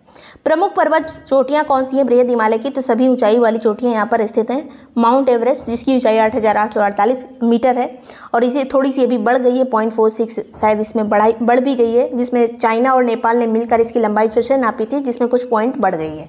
कंचनजंगा की बात करें तो आठ हज़ार पाँच सौ अट्ठानबे मीटर है। मकालू चार हज़ार मीटर है। सबकी ऊंचाई इंपॉर्टेंट नहीं है, बस थोड़ा सा क्रम याद होना चाहिए। मकालू के बाद आती है धौलागिरी, उसके बाद नंगा पर्वत आता है। फिर अन्नपूर्णा पर्वत श्रेणी आती है, फिर नंदा देवी आती है, फिर नामचा पर्वत आता है। ये प्रमुख जो पर्वत श्रेणियाँ हैं, बृहद हिमालय के पार्ट हैं। आगे बात करते हैं यहाँ पर। कुछ पॉइंट्स देख लीजिए, जैसे बृहद हिमालय का जो पूर्वी भाग है, वहाँ पे पश्चिमी भाग भाग की तुलना में अधिक ऊंचाई पर बर्फ़ मिलेगी। मतलब हम ऊपर चढ़ना चालू करें तो बर्फ़ जो है ज़्यादा ऊंचाई पर जाने पर मिलेगी पूर्वी भाग में, जबकि पश्चिमी भाग में थोड़ा कम दूरी पर जाकर ही बर्फ़ मिल जाती है। यहाँ पे जंगल वगैरह ज़्यादा होती है पूर्वी भाग में, अरुणाचल प्रदेश की साइड आगे बात करते हैं, बृहद हिमालय का जो पर्वतीय ढाल है, वो उत्तर की ओर मंद है, दक्षिण की ओर तीव्र है। उत्तर की ओर मतलब अगर नेपाली नेपाल की तरफ़ से चढ़ें, उधर के साइड से चलें तो आसानी से चढ़ा जा सकता है, लेकिन दक्षिण की साइड अगर इंडिया की साइड से चढ़ें तो बहुत तीव्र ढाल बना हुआ है। बृहद हिमालय के मध्यवर्ती भाग में ही गंगा, यमुना और उनकी कुछ सहायक नदियों का उद्गम होता है, सभी नदियाँ हिमालय से ही निकलती हैं, लगभग पर्वत श्रेणियों को काट कर बहने वाली पूर्ववर्ती नदियाँ कौन कौन सी हैं? पूर्ववर्ती नदी किसे कहा जाता है जो पर्वत श्रेणियों को काट कर बहती हैं? सिंधु नदी इसमें आती है ब्रह्मपुत्र आती है अलकनंदा आती है तो ये सभी पूर्ववर्ती नदियों के उदाहरण हैं। भारत की सबसे ऊँची चोटी की बात करें तो केटू है। आगे बात करते हैं लघु हिमालय या मध्य हिमालय की तो बृहद हिमालय के दक्षिण में स्थित है ये। उसके बाद इसको जो है शिवालिक से अलग कौन सा फॉल्ट करता है? तो मेन बाउंड्री फॉल्ट जो है, लघु हिमालय को शिवालिक, जो लास्ट वाला हिमालय उससे अलग करता है। इसकी औसत ऊंचाई की बात करें तो तीन हज़ार मीटर से चार चार हज़ार पाँच सौ मीटर तक इसकी ऊंचाई है औसतन। बृहद और लघु हिमालय के मध्य में बहुत सारी घाटियाँ पाई जाती हैं, जहाँ पर्यटन बहुत विकसित हुआ है। तो इसमें कश्मीर घाटी आती है, लाहौल स्पीति आती है, कुल्लू घाटी आती है, कांगड़ा घाटी आती है। सब बृहद और लघु हिमालय के बीच के पार्ट है। आगे बात करेंगे, लघु हिमालय को महाभारत श्रेणी अथवा हिमाचल श्रेणी के नाम से भी जाना जाता है। तो महाभारत श्रेणी जो है, किसका पार्ट है? लघु हिमालय या फिर मध्य हिमालय का पार्ट है। आगे बात करते हैं, पश्चिम से पूर्व कुछ यहाँ पर श्रेणियाँ दी हुई हैं। तो जम्मू कश्मीर के जो पीर पंजाल श्रेणी है मध्य हिमालय की सबसे ऊँची, सबसे लंबी श्रेणी है पीर पंजाल उसके बाद आती है धौलाधर श्रेणी। धौलाधर श्रेणी की जो एक घाटी है, कांगड़ा और कुल्लू घाटी, हिमाचल प्रदेश में स्थित है, धौलाधर का पार्ट है, और ये सभी लघु हिमालय में आएँगे। उसके बाद आगे आती है मसूरी श्रेणी, उत्तराखंड में स्थित है लघु हिमालय में। फिर महाभारत श्रेणी है, नेपाल में स्थित है लघु हिमालय में। आगे बात करते हैं, जो घास के मैदान कुछ पाए जाते हैं, जैसे हिमालय की ढाल पर छोटे छोटे घासों के मैदान पाए जाते हैं। इन्हें क्या कहा जाता है? तो इन्हें मर्ग कहते हैं। उत्तराखंड में इसे बुग्याल कहा जाता है या फिर प्यार कहा जाता है। तो मर्ग, प्यार ये बुग्याल, ये सभी सेम है। उत्तराखंड में बुग्याल या प्यार और जम्मू कश्मीर में मर्ग। आगे यहाँ पर, लघु हिमालय और शिवालिक के बीच में कौन कौन सी जो क्षेत्र पाए जाते हैं? तो शिमला पाया जाता है, मसूरी, चक्राता, नैनीताल, रानीखेत, दार्जिलिंग, ये सभी लघु हिमालय और शिवालिक के बीच के पार्ट हैं। लघु हिमालय और बृहद हिमालय के बीच में ही काठमांडू घाटी भी स्थित है, याद रखिएगा। लघु हिमालय और बृहद हिमालय के बीच में काठमांडू घाटी, जो कि नेपाल में स्थित है, वो है। फिर है शिवालिक या फिर जिसे बाह्य हिमालय कहते हैं तो सबसे दक्षिणी में है, सबसे कम ऊंचाई वाला हिमालय है ये। ये किससे बना है? तो निक्षेपण या फिर वलन से उत्पत्ति से, वलन की उत्पत्ति से ये बना है, जो हिमालय से नदियाँ आती थी, उसके बाद अवसाद लाती थी, उसका निक्षेप हुआ, उस पर वलन पड़ा तो इस तरह से शिवालिक का निर्माण हुआ है। औसतन ऊंचाई इसकी 600 से 1500 मीटर है। अगर नवीनतम की बात करें, हिमालय का कौन सा बार्ड पार्ट जो है, सबसे लास्ट में बना है तो ये शिवालिक है। आगे है यहाँ पर पोटवार बेसिन से लेके असम असम के दिहांग तक ये फैला हुआ है। शिवालिक पर्वत श्रेणी पोटवार बेसिन कहाँ पे? पाकिस्तान में। उसके बाद असम के दिहांग तक फैला हुआ है। फिर शिवालिक का सबसे निचला जो पार्ट होता है उसे जो दलदली एरिया होता है जहाँ पे नदियाँ जो है पत्थरों से निकलने के बाद आ, सामने दिखती हैं उसके बाद दलदल का निर्माण करती हैं उसी को कहते हैं तराई। तो तराई एरिया किसका पार्ट है? तो शिवालिक का सबसे निचला पार्ट है। फिर आते हैं शिवालिक और उत्तरी जो मैदान है उसके बीच में जो फॉल्ट पाया जाता है उसे कहते हैं Himalayan frontal fault. Himalayan frontal fault किसके बीच स्थित है? शिवालिक और उत्तरी मैदान के बीच में स्थित है। इसे एच एफ़ एफ़ भी कहा जाता है। फिर शिवालिक और लघु हिमालय के बीच में कौन सा एरिया स्थित है? तो देहरादून और हरिद्वार जो है, शिवालिक और लघु हिमालय के बीच के पार्ट आते हैं।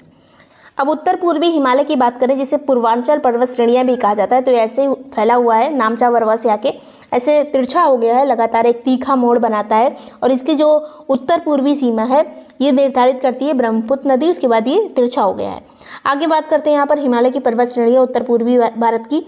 तो अरुणाचल प्रदेश में डाफला पहाड़ी है मेरी, अबोर, मिस्री, मिसमी जो भी हमने देखा था। उसके बाद अरुणाचल प्रदेश और म्यांमार की सीमा पर एक पहाड़ी, जिसका नाम है पटकाई बोम तो ये भी अरुणाचल प्रदेश में ही आएगी। आगे यहाँ पर नागालैंड में नागा पहाड़ी, इसके बाद मणिपुर में मणिपुर पहाड़ी, मिजोरम में मिजो पहाड़ी, त्रिपुरा में त्रिपुरा पहाड़ी, इसके अलावा बरेल श्रेणी एक है, जो कि असम, मणिपुर और नागालैंड तीनों में फैली हुई है बरेल श्रेणी। फिर आती है मिकर श्रेणी, मिकर कहाँ पे है? तो ये असम में है। फिर मेघालय में है गारो खासी जयंतिया। झीलों के बारे में तो कुछ क्वेश्चन जो कॉमन पूछे जाते हैं और लगभग सभी एग्ज़ाम्स में ये पूछे जाते हैं तो इसे देख लेते हैं। भारत की सबसे बड़ी झील कौन सी है या फिर भारत की सबसे बड़ी खारे पानी की झील कौन सी है या फिर भारत की सबसे बड़ी लेगून झील कौन सी है? तीनों क्वेश्चन का एक ही आंसर है, चिल्का झील। तीनों में से कोई क्वेश्चन पूछा जाए, सबसे बड़ी खारे पानी की झील या फिर सबसे बड़ी झील या फिर सबसे बड़ी लैगून झील तो चिल्का झील ही होगी, जो कि उड़ीसा में स्थित है। अब लैगून झील कौन सी होती है? जो समुद्र के किनारे होती है, तट से लगी हुई होती है, वो समुद्री पानी से ही निर्मित होती है। बीच में केवल कुछ मिट्टी वाला एरिया आ जाता है, इसलिए वो झील बन जाती है। झील वो वाला एरिया होता है, जिसके चारों तरफ़ जो है स्थल होता है, बीच में पानी रहता है। जैसे अगर विश्व की सबसे बड़ी झील की बात की जाए तो कैस्पियन सागर है। नाम में उसके सागर लगा है, लेकिन चारों तरफ़ उसके स्थल खंड है, इसलिए उसको झील का नाम दिया गया है। सबसे बड़ी झील कौन सी है? कैस्पियन सागर विश्व की।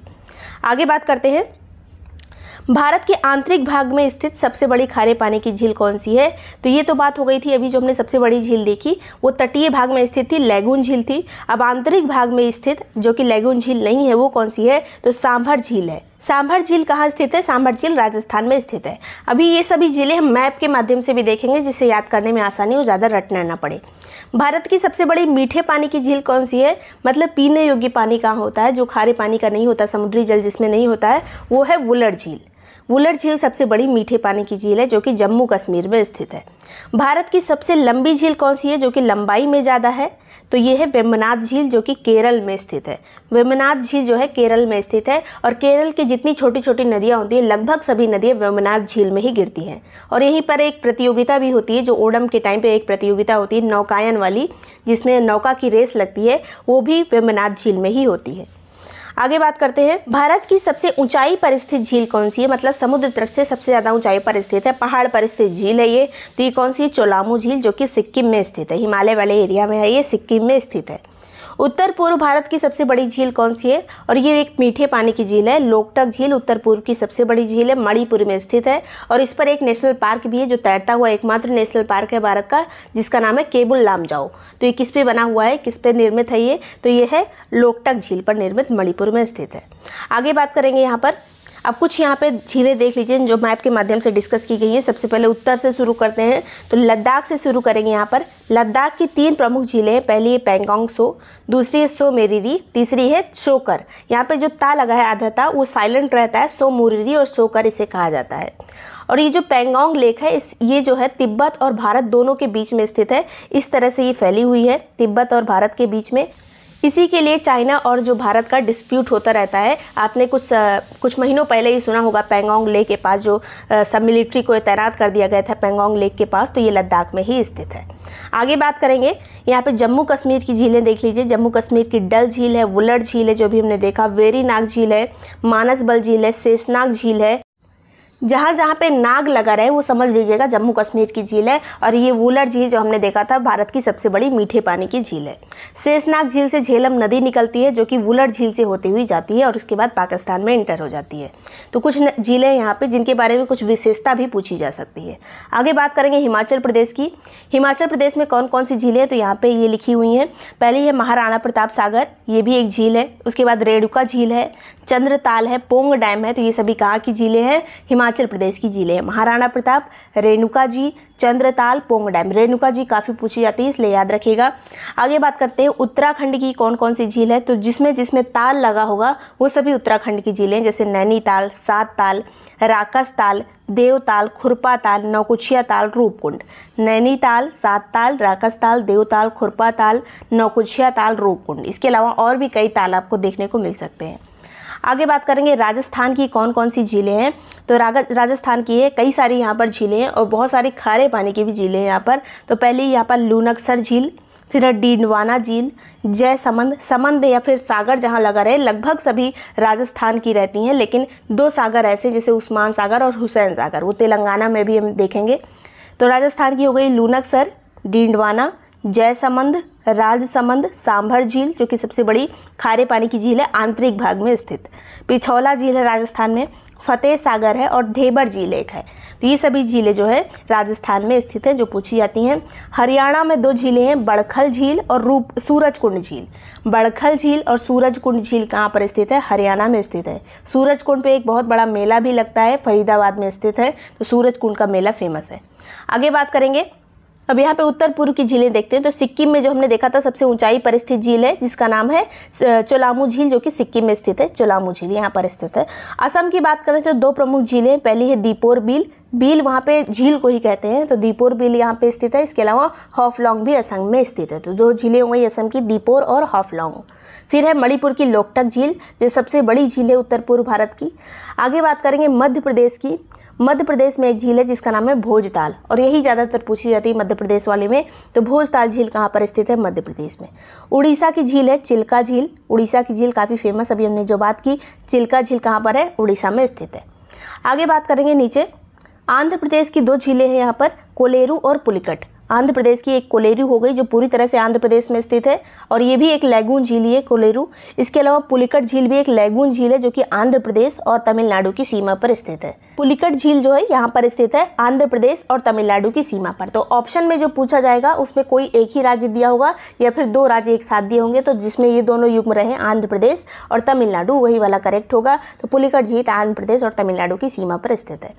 आगे बात करेंगे केरल की तीन प्रमुख झीलें, पहली हो गई वेम्बनाथ, जो सबसे लंबी झील है भारत की। दूसरी हो गई पेरियार झील। वेम्बनाथ जो है ये लैगुन झील है। पेरियार जो है ये नदियों से निर्मित झील है, ये लैगुन झील नहीं है। फिर यहाँ पे तीसरी हो गई अष्टमुडी झील और एक है कुट्टानाड झील। तो वेम्बनाथ, पेरियार, अष्टमुडी और कुट्टानाड, ये चारों जो हैं, ये चारों झीलें केरल में स्थित हैं। आगे बात करेंगे तेलंगाना की। तो तेलंगाना की जो प्रमुख झीलें हैं, उसमें सब में सागर लगा हुआ है, जो मेन झीलें हैं। पहली है हुसैन सागर, फिर है उस्मान सागर और नागार्जुन सागर। तीनों सागर कहाँ पर स्थित है? तेलंगाना में स्थित है। अब गुजरात की झीलें यहाँ पर देखिए। गुजरात की झीलों में दो प्रमुख झीलें, पहली है नल सरोवर, दूसरी है नारायण सरोवर। नल सरोवर और नारायण सरोवर जो है, दोनों गुजरात में स्थित है। अब महाराष्ट्र की एकमात्र झील है, जिसका नाम है लोनार लेक। और लोनार लेक क्रेटर झील है और कहा जाता है कि ये उल्का पिंड गिरने से बनी हुई है। इसके ऊपर ऐसे गड्ढा बन गया जिसपे पानी भर जाता है तो ये एक झील का निर्माण कर देती है और यही है लोनार लेक। तो यहाँ पे सभी झीलें हमने कवर कर ली। अब आगे देखते हैं जलप्रपात के बारे में, यानी झरनों के बारे में।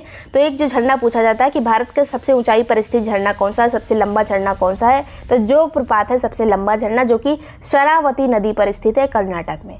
दूसरा है यहाँ पर कुंचिकल जलप्रपात। कुंचिकल कहाँ पर स्थित है? वाराही नदी पर कर्नाटक में। अगर आप सीधे सीधे बात करें, जो स्टेप्स में कुछ झरने होते हैं, कुछ सीधे गिरते हैं। तो जो स्टेप्स वाली ऊंचाई होती है, वो जोग प्रपात की ज़्यादा है और कहीं कहीं आपको कुंचिकल भी मिलेगा। तो कुंचिकल की जो जलप्रपात है, वो सीधा गिरता है। उस तरह सीधा, सीधे में लंबाई देखा जाए तो ज़्यादा ऊँचा कौन सा है? कुंचिकल। लेकिन एग्ज़ाम में अब जो करेक्ट होगा, वो जोग ही होगा, क्योंकि यही सही मान लिया गया है। आगे बात करते हैं, शिव समुद्रम जलप्रपात कहाँ पर स्थित है? तो कावेरी नदी पर कर्नाटक में स्थित है। नदियों के नाम भी याद रखने हैं, किस राज्य में स्थित है, ये भी याद रखना है। हुंडुरु जलप्रपात जो है, ये सुवर्ण रेखा नदी पर स्थित है, रांची, झारखंड में। हुंडुरु जलप्रपात जो है सुवर्ण रेखा नदी पर स्थित है। ये सभी मैचिंग में भी पूछ लिए जाते हैं। कपिल धारा जो है कपिल धारा जलप्रपात कहाँ पर स्थित है? नर्मदा नदी पर मध्य प्रदेश में स्थित है। कपिल धारा और धुआंधार धुआंधार और कपिल धारा दोनों नर्मदा नदी पर स्थित हैं, दोनों मध्य प्रदेश के हैं।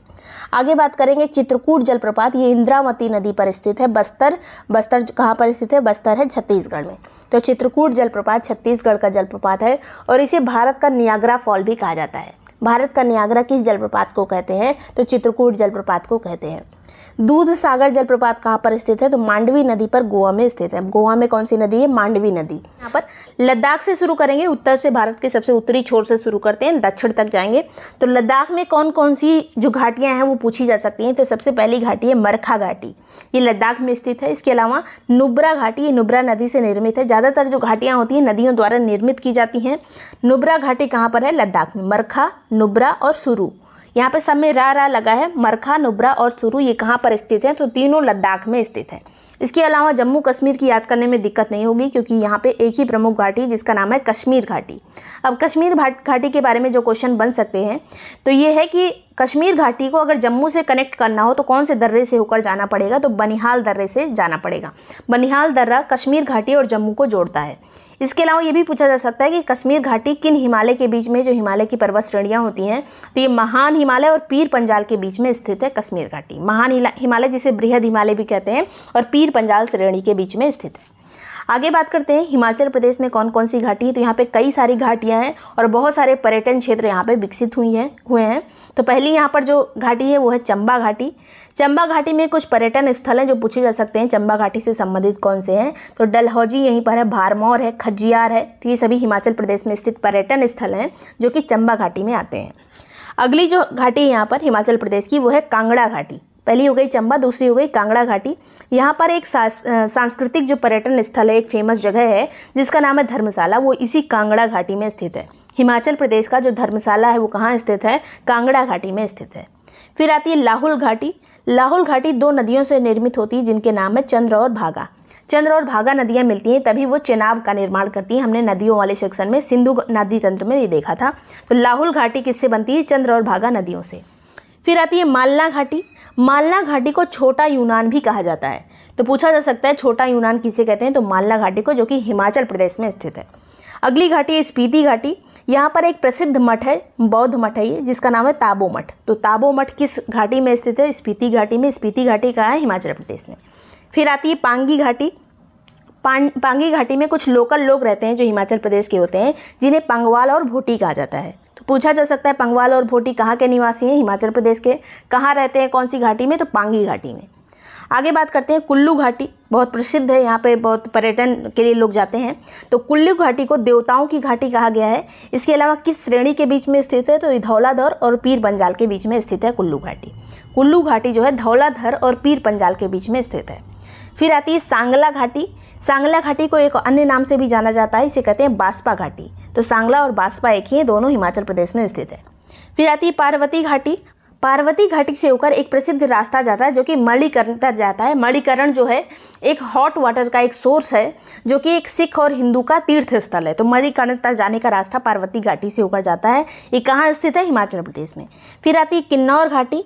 किन्नौर घाटी हिमाचल प्रदेश का प्रदेश का सबसे उत्तर और पूर्वी जो भाग है, वहाँ पर स्थित है। एकदम सीमा पर स्थित है, तिब्बत की सीमा के पास स्थित है किन्नौर घाटी। किन्नौर घाटी से होकर अगर पूछा जाए, कौन सी घाटी ऐसी है, जिसे हम हिमाचल प्रदेश के अंतिम गाँव तक पहुँच सकते हैं, जिसका नाम है चिटकुल? तो किन्नौर घाटी से होकर जाते हैं। आगे बात करते हैं उत्तराखंड की घाटी। तो दून घाटी यहाँ पर, जैसे देहरादून होता है, देहरादून उत्तराखंड की राजधानी है। उसी तरह से दून घाटी यहाँ पर है। दून घाटी लघु हिमालय और शिवालिक के बीच में स्थित है। जैसे कि आपको पता होगा लास्ट में जो हिमालय आता है, जो हिमालय का पार्ट सबसे आखिरी है बाहरी भाग है, उसे कहते हैं शिवालिक। उसके बाद आता है लघु हिमालय। लघु हिमालय को ही मध्य हिमालय कहते हैं। हिमालय वाले चैप्टर में हमने इसे कवर किया है। तो धून घाटी लघु हिमालय और शिवालिक के बीच में स्थित है। फिर आती है जोहार घाटी, उत्तराखंड में स्थित है। इसी को मिलाम घाटी भी कहते हैं, इसी को गौरी गौरी गंगा घाटी भी कहते हैं। तो पूछा जा सकता है मिलाम घाटी कहाँ स्थित है? उत्तराखंड में गौरी गंगा, उत्तराखंड में जोहार घाटी, उत्तराखंड तीनों एक ही नाम है। आगे बात करते हैं, फूलों की घाटी, जिसे यूनेस्को साइट्स में भी दर्ज किया गया है 2004 में। फूलों की घाटी कहाँ स्थित है? तो उत्तराखंड में स्थित है। फिर आती है धर्मा घाटी, इसे कहते हैं धर्म गंगा नदी द्वारा ये निर्मित है धर्मा घाटी। कहाँ पर स्थित है? उत्तराखंड में। शोर घाटी ये उत्तराखंड के पिथौरागढ़ में स्थित है। तो शोर घाटी कहाँ पे है? उत्तराखंड में।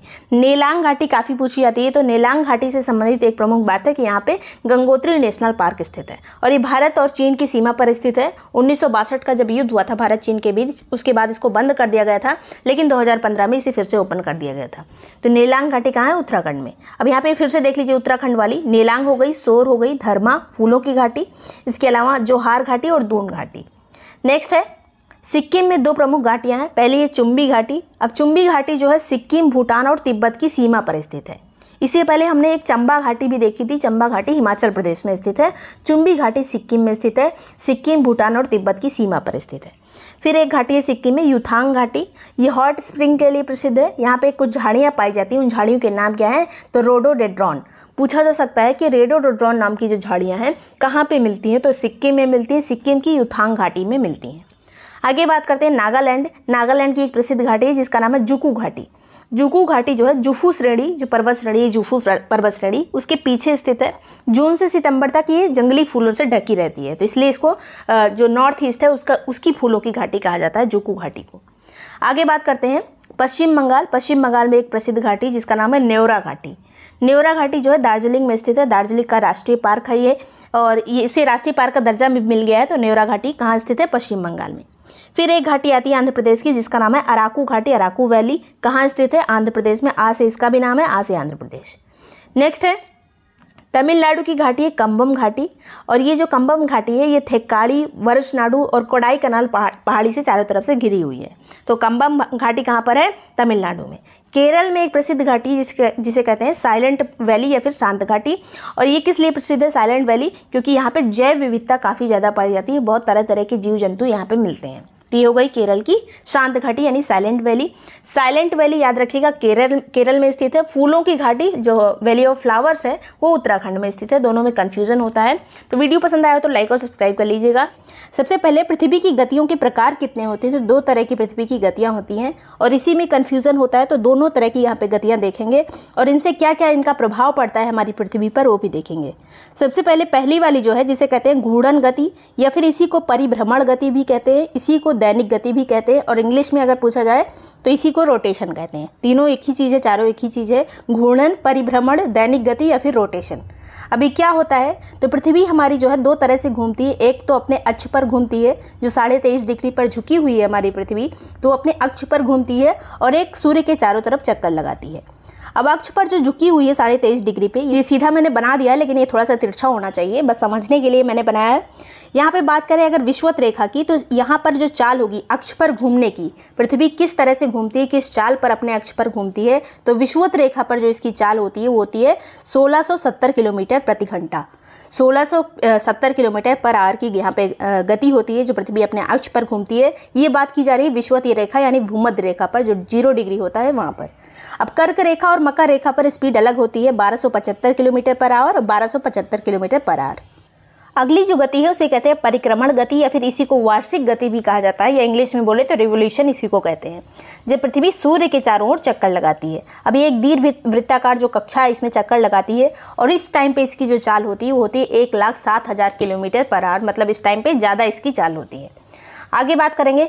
घूर्णन यानी यहाँ पे जो परिभ्रमण है, इसको डिटेल में देखेंगे। पृथ्वी अपने अक्ष के सापेक्ष किस किस दिशा में घूमती है? तो इसका अक्ष हो गया। इसके सापेक्ष ये पश्चिम से पूर्व घूमेगी। मतलब ये वाली जो दिशा है, इस तरह से घूमेगी। अगर इसे गोल गोल एक बॉल मान ले तो इस डायरेक्शन में ये घूमती हुई प्रतीत होती है, अगर अक्ष की बात करें तो उस पर।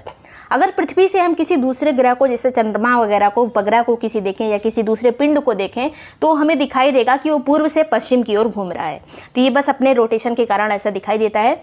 आगे बात करेंगे, घूर्णन की चाल कितनी होती है, जो भी हमने देखा तो 1670 किलोमीटर पर आवर इसकी चाल होती है। और ये जो घूर्णन वाला टाइम पीरियड होता है, कितने समय में अपने अक्ष पर एक बार घूम जाती है पृथ्वी तो ये है तेईस घंटे छप्पन मिनट चार सेकंड लगभग चौबीस घंटे, इसीलिए एक दिन रात इसी तरह से होता है। तेईस घंटे छप्पन मिनट चार सेकंड ये पूरा इसी तरह से याद रखिएगा, मिनट सेकंड वगैरह। और हवाओं के साथ भी यही है, उत्तरी गोलार्ध में हवाएँ जो है अपने दाई ओर मुड़ जाती हैं, दक्षिणी गोलार्ध में अपने बाई ओर मुड़ जाती हैं।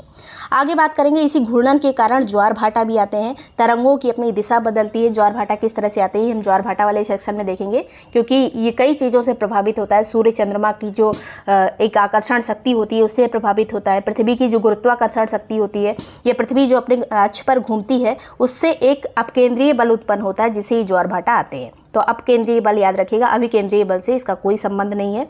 आगे बात करेंगे, अब केंद्रीय बल वो होता है जो बाहर की तरफ़ खींचता है। अगर कोई गोल गोल चीज़ है, ऐसे घूम रही है अपने अक्ष पर तो बाहर की तरफ़ एक बल लगता है, उसे कहते हैं अब केंद्रीय बल। जो अंदर की तरफ़ बल लगता है, उसे कहते हैं अभिकेंद्रीय बल।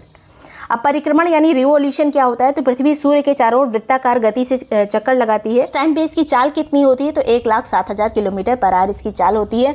और कितने टाइम पे ये एक अपना चक्कर सूर्य के चारों ओर पूरा करती है पृथ्वी? तो तीन सौ पैंसठ दिन, पाँच घंटे, अड़तालीस मिनट, छियालीस सेकेंड। अब ये पाँच घंटे, अड़तालीस मिनट, छियालीस सेकेंड अगर इसको मान ले कि छः घंटा है ये तो चार साल में छः चौक चौबीस हो जाता है, पूरा एक दिन और ऐड हो जाता है। इसलिए लीप ईयर में तीन दिन होते हैं। हर चार साल बाद फरवरी में एक दिन ऐड हो जाता है। तो इस तरह से ये रिवोल्यूशन के कारण, यानी परिक्रमण के कारण ये होता है, जो लीप ईयर वगैरह होता है। आगे बात करेंगे इसका और क्या क्या प्रभाव पड़ता है। तो इसी वजह से दिन रात का छोटा बड़ा होना होता है। जैसे कि अगर हम बात करें, अगर हमारे कर्क रेखा पर सूर्य सीधा चमकेगा तो हमारे यहाँ दिन बड़ा होगा, रातें छोटी होंगी। उसी तरह से मकर रेखा पर अगर चमकेगा तो वहाँ पे है, दिन बड़ा होगा, रातें छोटी होंगी। ये विश्वत रेखा यहाँ पे दिन रात बराबर होते हैं। तो ये परिक्रमण के कारण ही होता है। ऋतु परिवर्तन भी इसी के कारण होता है जब सूर्य की किरणें कर्क रेखा पर सीधी चमकती है, तभी हमारे यहाँ गर्मियाँ पड़ती हैं। कर्क और मकर रेखाओं का निर्धारण भी इसी से होता है क्योंकि सूर्य की किरणें इधर वाले पार्ट पे हमेशा तिरछी पड़ती हैं, इधर नहीं जाती हैं, यही इसका लास्ट पॉइंट है। उसके बाद फिर से ये वापस जाने लगती हैं। यहाँ पे पृथ्वी के रोटेशन की, पृथ्वी के परिक्रमण की बात हो रही है, सूर्य के नहीं, बस सूर्य पृथ्वी का जो पार्ट सूर्य के सामने आ जाता है, वही ज़्यादा चमकने लगता है, वहीं पर ज़्यादा गर्मी पड़ने लगती है। आगे बात करेंगे। यहाँ पे हम जो सीधे चमकने की बात कर रहे हैं, सूर्य सीधा चमकता है, ये पृथ्वी का जो भाग सूर्य के आगे हो जाता है, जैसे कर्क रेखा का भाग आगे हो गया तो वहाँ पे गर्मी पड़ने लगेगी। इसी तरह से चीज़ें होती हैं। आगे बात करेंगे विषु जो विषु वाला टाइम होता है, अभी देखेंगे इसमें। उपसौर और अपसौर, ये सभी चीज़ें जो परिक्रमण के कारण ही होती है, जो पृथ्वी सूर्य के चारों ओर चक्कर लगाती है। ध्रुवों पर जो छः माह का दिन और छः माह की रात होती है, वो भी इसी कारण होती है, परिक्रमण के कारण, जो पृथ्वी सूर्य का चक्कर लगाती है। अब यहाँ पे देख लेते हैं, ये क्या है विषु वगैरह। तो ये सूर्य है। सूर्य की किरणें जब यहाँ पे सीधी पड़ेंगी मकर रेखा पर तो यहाँ पे कर्क रेखा पर जहाँ हम स्थित हैं 22 दिसंबर का टाइम होगा और यहाँ पर शीत अयनांत होगा मतलब शीत ऋतु होगी। दिन जो है सबसे छोटा होगा, रातें सबसे बड़ी होंगी। उसी तरह से इक्कीस जून की बात करें तो यहाँ पर ग्रीष्म अयनांत होगा, बहुत गर्मी होगी इक्कीस जून को और दिन सबसे बड़ा होगा। उसी तरह से बीच में यहाँ पे इक्कीस मार्च की बात करें तो यहाँ पे विश्वत रेखा पर सूर्य सीधा चमकेगा, न कर्क पे, न मकर पे। तो हमारे यहाँ जो है दिन रात बराबर होगा इक्कीस मार्च को, इसी को विशु का जाता है। इस टाइम पे भी ना सूर्य कर्क रेखा पर चमकेगा, न तो मकर रेखा पर चमकेगा। ये वाला कॉन्सेप्ट मैंने पिछले वीडियो में आपको बताया था, जलवायु वाले सेक्शन में ये देखा था। अब अपसौर कब होता है? तो अपसौर होता है चार जुलाई को। इस टाइम पे सूर्य से पृथ्वी की दूरी अधिकतम होती है, एक सौ बावन मिलियन किलोमीटर होती है तो ये हो गया अपसौर। और चार जुलाई के दिन ये होता है तो जिस टाइम पे सूर्य जो है सबसे दूर है हमारे, उस टाइम पे हमारे यहाँ गर्मी क्यों पड़ती है? क्योंकि इस टाइम पे जो है, चार जुलाई वाले टाइम पे सूर्य हमारा कहाँ चमक रहा है? कर्क रेखा पर चमक रहा है। और हम कर्क रेखा पर ही स्थित हैं, इसलिए हमारे यहाँ गर्मी होती है। सूर्य चाहे जितनी दूर हो हमसे, फिर भी यहाँ पे गर्मी होती है। लेकिन अगर बात करें उपसौर की ये यहाँ पे जो है उपसौर इस टाइम पे पृथ्वी जो है, सूर्य के सबसे नज़दीक आ जाती है। तो एक सौ सैंतालीस मिलियन किलोमीटर की बात करें तो यहाँ एक सौ मिलियन किलोमीटर पर आ जाती है। सबसे पास होती है हमारे लेकिन हम कर्क रेखा पर स्थित हैं और ये तीन जनवरी का टाइम है। इस टाइम पे तीन जनवरी को सूर्य कहाँ चमक रहा है? हमारे यहाँ ठंडी पड़ रही है मतलब मकर रेखा पर सूर्य सीधा चमक रहा है। और उस टाइम पे ऑस्ट्रेलिया वगैरह में जो मकर रेखा पर स्थित देश होंगे, वहाँ पे बहुत ज़्यादा गर्मी होती है, क्योंकि सूर्य भी सीधा चमक रहा है मकर रेखा पर और यहाँ पर उपसौर भी हो गया है। सूर्य सबसे पास भी आ गया है। तो इस टाइम पर ऑस्ट्रेलिया में बहुत ज़्यादा गर्मी होती है। आगे बात करेंगे। सूर्य ग्रहण कब होता है जब ये तो पता होगा आपको, जब सूर्य और पृथ्वी के बीच में चंद्रमा आ जाता है और ये किस टाइम पे होता है, किस दिन होता है तो अमावस्या को दिन, अमावस्या के दिन होता है। हर अमावस्या को नहीं होता है क्योंकि चंद्रमा भी अपने अक्ष पर थोड़ा झुका हुआ है फाइव डिग्री पर झुका हुआ है, इसके अक्ष तल झुके हुए हैं। हर अमावस्या को इसलिए ये नहीं होता है। अब यहाँ पर जब बीच में चंद्रमा आ जाएगा तो पृथ्वी सूर्य का प्रकाश जो है पृथ्वी पर नहीं पड़ेगा और यहाँ पे सूर्य ग्रहण लग जाएगा। और ये जो सूर्य, चंद्रमा और पृथ्वी तीनों एक ही दिशा में अगर एक ही रेखा में होते हैं तो इसे क्या कहते हैं? इसे कहते हैं युति। तो युति पूछ लिया जाता है, युति क्या है वियुति क्या है? तो सूर्य, चंद्रमा और पृथ्वी तीनों एक ही रेखा में होंगे, यानी सूर्य ग्रहण के टाइम पे युति कहते हैं इसे। आगे बात करेंगे। चंद्र ग्रहण क्या होता है, यानी लूनर एक्लिप्स क्या होता है, जब सूर्य और चंद्रमा के बीच में पृथ्वी आ जाती है तो पृथ्वी की छाया पड़ने लगती है चंद्रमा पर। ये पृथ्वी हो गई, ये चंद्रमा हो गया तो पृथ्वी की छाया चंद्रमा पर पड़ने लगेगी तो चंद्रमा पर सूर्य का प्रकाश नहीं पहुंचेगा, और ये जो क्रिया है, ये क्या कहलाती है चंद्र ग्रहण कहलाती है। आगे बात करें, और ये जो तीनों एक ही सीध में हो जाते हैं, सूर्य, पृथ्वी और चंद्रमा, इसे क्या कहेंगे, इसे वियुति कहेंगे, जो चंद्र ग्रहण के टाइम पे होती है। सिजगी क्या है तो सिजगी में सूर्य, चंद्रमा और पृथ्वी एक रेखीय होते हैं, चाहे वो सूर्य ग्रहण की बात करें, चाहे चंद्र ग्रहण की। ये पूरी क्रिया क्या कहलाएगी? इसे कहते हैं सिजगी, जो तीनों एक सीध में आ जाते हैं। सुपर मून क्या होता है? जब चंद्रमा जो है पृथ्वी से सबसे निकटतम स्थिति में होता है तो बड़ा दिखाई देता है थोड़ा सा इसे कहते हैं सुपर मून। इस टाइम पे 14 परसेंट बड़ा दिखाई देता है हमें चंद्रमा और 30 परसेंट ज़्यादा चमकीला दिखाई देता है। इसे कहते हैं सुपर मून। ब्लू मून क्या है? इससे ब्लू का कोई, यहाँ पे नीले से कोई इसका संबंध नहीं है। यदि किसी माह में दो पूर्णिमा है तो जो दूसरी वाली पूर्णिमा वाले चाँद होगा, उसी को ब्लू मून कहेंगे। तो ब्लू मून का ब्लू से कोई संबंध नहीं है। आगे बात करेंगे, ब्लड मून क्या होता है? तो पूर्ण चंद्रग्रहण के दौरान जो चंद्रमा लाल हो जाता है, जब पृथ्वी पृथ्वी पूरी तरह से छाया आ जाती है चंद्रमा पर। बीच में पृथ्वी आ जाएगी सूर्य और चंद्रमा के बीच में और पृथ्वी की छाया चंद्रमा पर पड़ेगी। उस टाइम पे चंद्रमा का जो रंग है थोड़ा थोड़ा लाल दिखाई देता है। इसी को कहते हैं ब्लड मून क्योंकि थोड़ा प्रकाश उस पर सूर्य का पड़ता है, बाकी प्रकाश नहीं पड़ पाता है, इसीलिए इसे इसे कहते हैं ब्लड मून और ये पूर्ण चंद्र ग्रहण के दौरान ही होता है, बहुत रेयर होता है ये ढाई तीन साल पर एक बार होता है। ठीक अब यहाँ पे मैप के माध्यम से देख लेते हैं कि भारत में कितने टाइप के वन पाए जाते हैं। इसे समझने में आसानी होगी। यहाँ पे सभी चीज़ें अलग अलग चित्र के माध्यम से मैंने यहाँ पे दर्शाई हैं। सबसे पहली बात करें तो सदाबहार या फिर अर्ध सदाबहार टाइप के वन पाए जाते हैं। दोनों एक ही में हम पढ़ेंगे। तो यहाँ पे सर्द, सदाबहार और अर्ध सदाबहार वाले जो चित्र बना है, वो ऐसे डैश डैश वाला है। जैसे ये पश्चिमी घाट वाला एरिया हो गया, ये सदाबहार और अर्ध सदाबहार वाला एरिया हो गया। इसके अलावा इधर जो उत्तर पूर्वी भाग है, ये भी सदाबहार और अर्ध सदाबहार वाले वनों में आता है। पर्णपाती वनों में जहाँ पे बिंदी बिंदी रखी है, ये वाला एरिया जो है पर्णपाती वनों में आता है, मिडिल वाला एरिया। कांटेदार वनों में इधर वाला एरिया, राजस्थान वाला, थोड़ा गुजरात लेके ये वाला कांटेदार वनों में आता है। फिर पर्वतीय वनों को ऐसे ऐसे दर्शाया गया है, ये वाला एरिया पर्वतीय वनों में आता है, ये भी पर्वतीय वनों में आता है। कुछ यहाँ पे भी एरिया है, नीलगिरी, पहाड़ियाँ वगैरह, वहाँ पे भी पर्वतीय वन पाए जाते हैं, लेकिन बहुत कम पाए जाते हैं, इसलिए वो नहीं दर्शाया गया है। आगे बात करेंगे, अनूप वन या फिर वेलांचली वन कौन से होते हैं, जो दलदली एरिया में होते हैं? इसे दलदली वन भी कहा जाता है, अनूप वन भी कहा जाता है, जो ज़्यादातर डेल्टाई क्षेत्र होते हैं या फिर कोई झील अगर है, जैसे यहाँ पे चिल्का झील है तो वहाँ पर पर एरिया जो है, वो दलदली होगा। भीतरकनिका नेशनल पार्क वगैरह वहीं पे पाए जाते हैं। यहाँ पे पश्चिम बंगाल में कुछ एरिया मतलब जितने भी तटीय एरिया हैं जहाँ पे दलदली क्षेत्र पाया जाएगा, चाहे वो बीच में स्थित है आंतरिक भागों में, जैसे जम्मू कश्मीर की बात करें तो यहाँ पे कुछ जो झीलें पाई जाती हैं, उसके आसपास जो वन होते हैं, उसे भी अनूप वन या फिर दलदली वन भी कहा जाता है। तो ये सभी दलदली वन हो गए, जिसे डार्क में दिखाया गया है। आगे बात करते हैं यहाँ पर, कुछ और चीज़ें जो एग्ज़ाम में पूछी जा सकती हैं। जैसे वनों को किस अनुसूची में रखा गया है तो अनुसूची नंबर सात में रखा गया है। सातवीं अनुसूची में तीन सूचियाँ आती हैं। इसके अंतर्गत एक संघ सूची होती है, एक राज्य सूची, एक समवर्ती सूची। तो वनों को सातवीं अनुसूची के अंतर्गत समवर्ती वाले सूची में रखा गया है। समवर्ती सूची में रखा गया है वनों को, और इसे समवर्ती सूची में कब डाला गया था तो बयालीसवें संविधान संशोधन नाइनटीन में इसे राज्य सूची से निकालकर समवर्ती सूची में डाला गया था। तो ये चीज़ें बात है जो सूची वगैरह पूछ ली जाती है। आगे बात करेंगे कौन कौन सा आर्टिकल या कौन कौन सा अनुच्छेद जो है वनों से संबंधित है। तो पहला यहाँ पे मूल कर्तव्य में आता है, जो इक्यावन ए का जी वाला सेक्शन है। मूल कर्तव्यों में 51 ए में पूरे मूल कर्तव्य दिए हैं। अब मूल कर्तव्य 11 हैं। उनमें से जो जी वाला है, उसमें दिया गया है वनों के बारे में। वनों और वन्य जीवों सहित प्राकृतिक पर्यावरण की रक्षा और संवर्धन करना प्रत्येक नागरिक का मौलिक कर्तव्य होगा। वनों और वन्य जीवों सहित प्राकृतिक पर्यावरण की रक्षा एवं संवर्धन करना प्रत्येक नागरिक का मौलिक कर्तव्य होगा। ये दिया गया है फिफ्टी ए के जी में। फिर एक और आर्टिकल है जो इससे संबंधित है, वनों से संबंधित है, जो कि है 48 ए ये नीति निदेशक तत्व के की बात की जा रही है। 48 ए क्या है? नीति निदेशक तत्व। इसमें राज्यों से कहा गया है, राज्य मतलब देश। यहाँ पे राज्य से कहा गया है कि देश के पर्यावरण का संरक्षण और संवर्धन के साथ साथ वन और वन्यजीवों की रक्षा करने का राज्य प्रयास करेगा। मतलब कुछ राज्यों के कर्तव्य होते हैं और मूल कर्तव्य में अभी हमने फिफ्टी वन में देखा, कुछ नागरिकों के भी कर्तव्य होते हैं। तो ये सभी बात हो गई इसकी। आर्टिकल की, अभी जो हमारे यहाँ राष्ट्रीय वन नीति चल रही है, वो है 1988 वाली वन नीति का हम पालन कर रहे हैं। आगे बात करेंगे, वार्षिक वर्षा के आधार पर वनों का वितरण किस तरह से भारत में किया गया है, जिनसे बहुत ज़्यादा क्वेश्चन पूछे जाते हैं तो इसे वर्षा के आधार पर वनों का वितरण हमें डिटेल में पढ़ना है। पहला प्रकार है आर्द्र उष्ण कटिबंधीय सदाबहार वन और इसी के अंतर्गत हम अर्ध सदाबहार वन भी देखेंगे।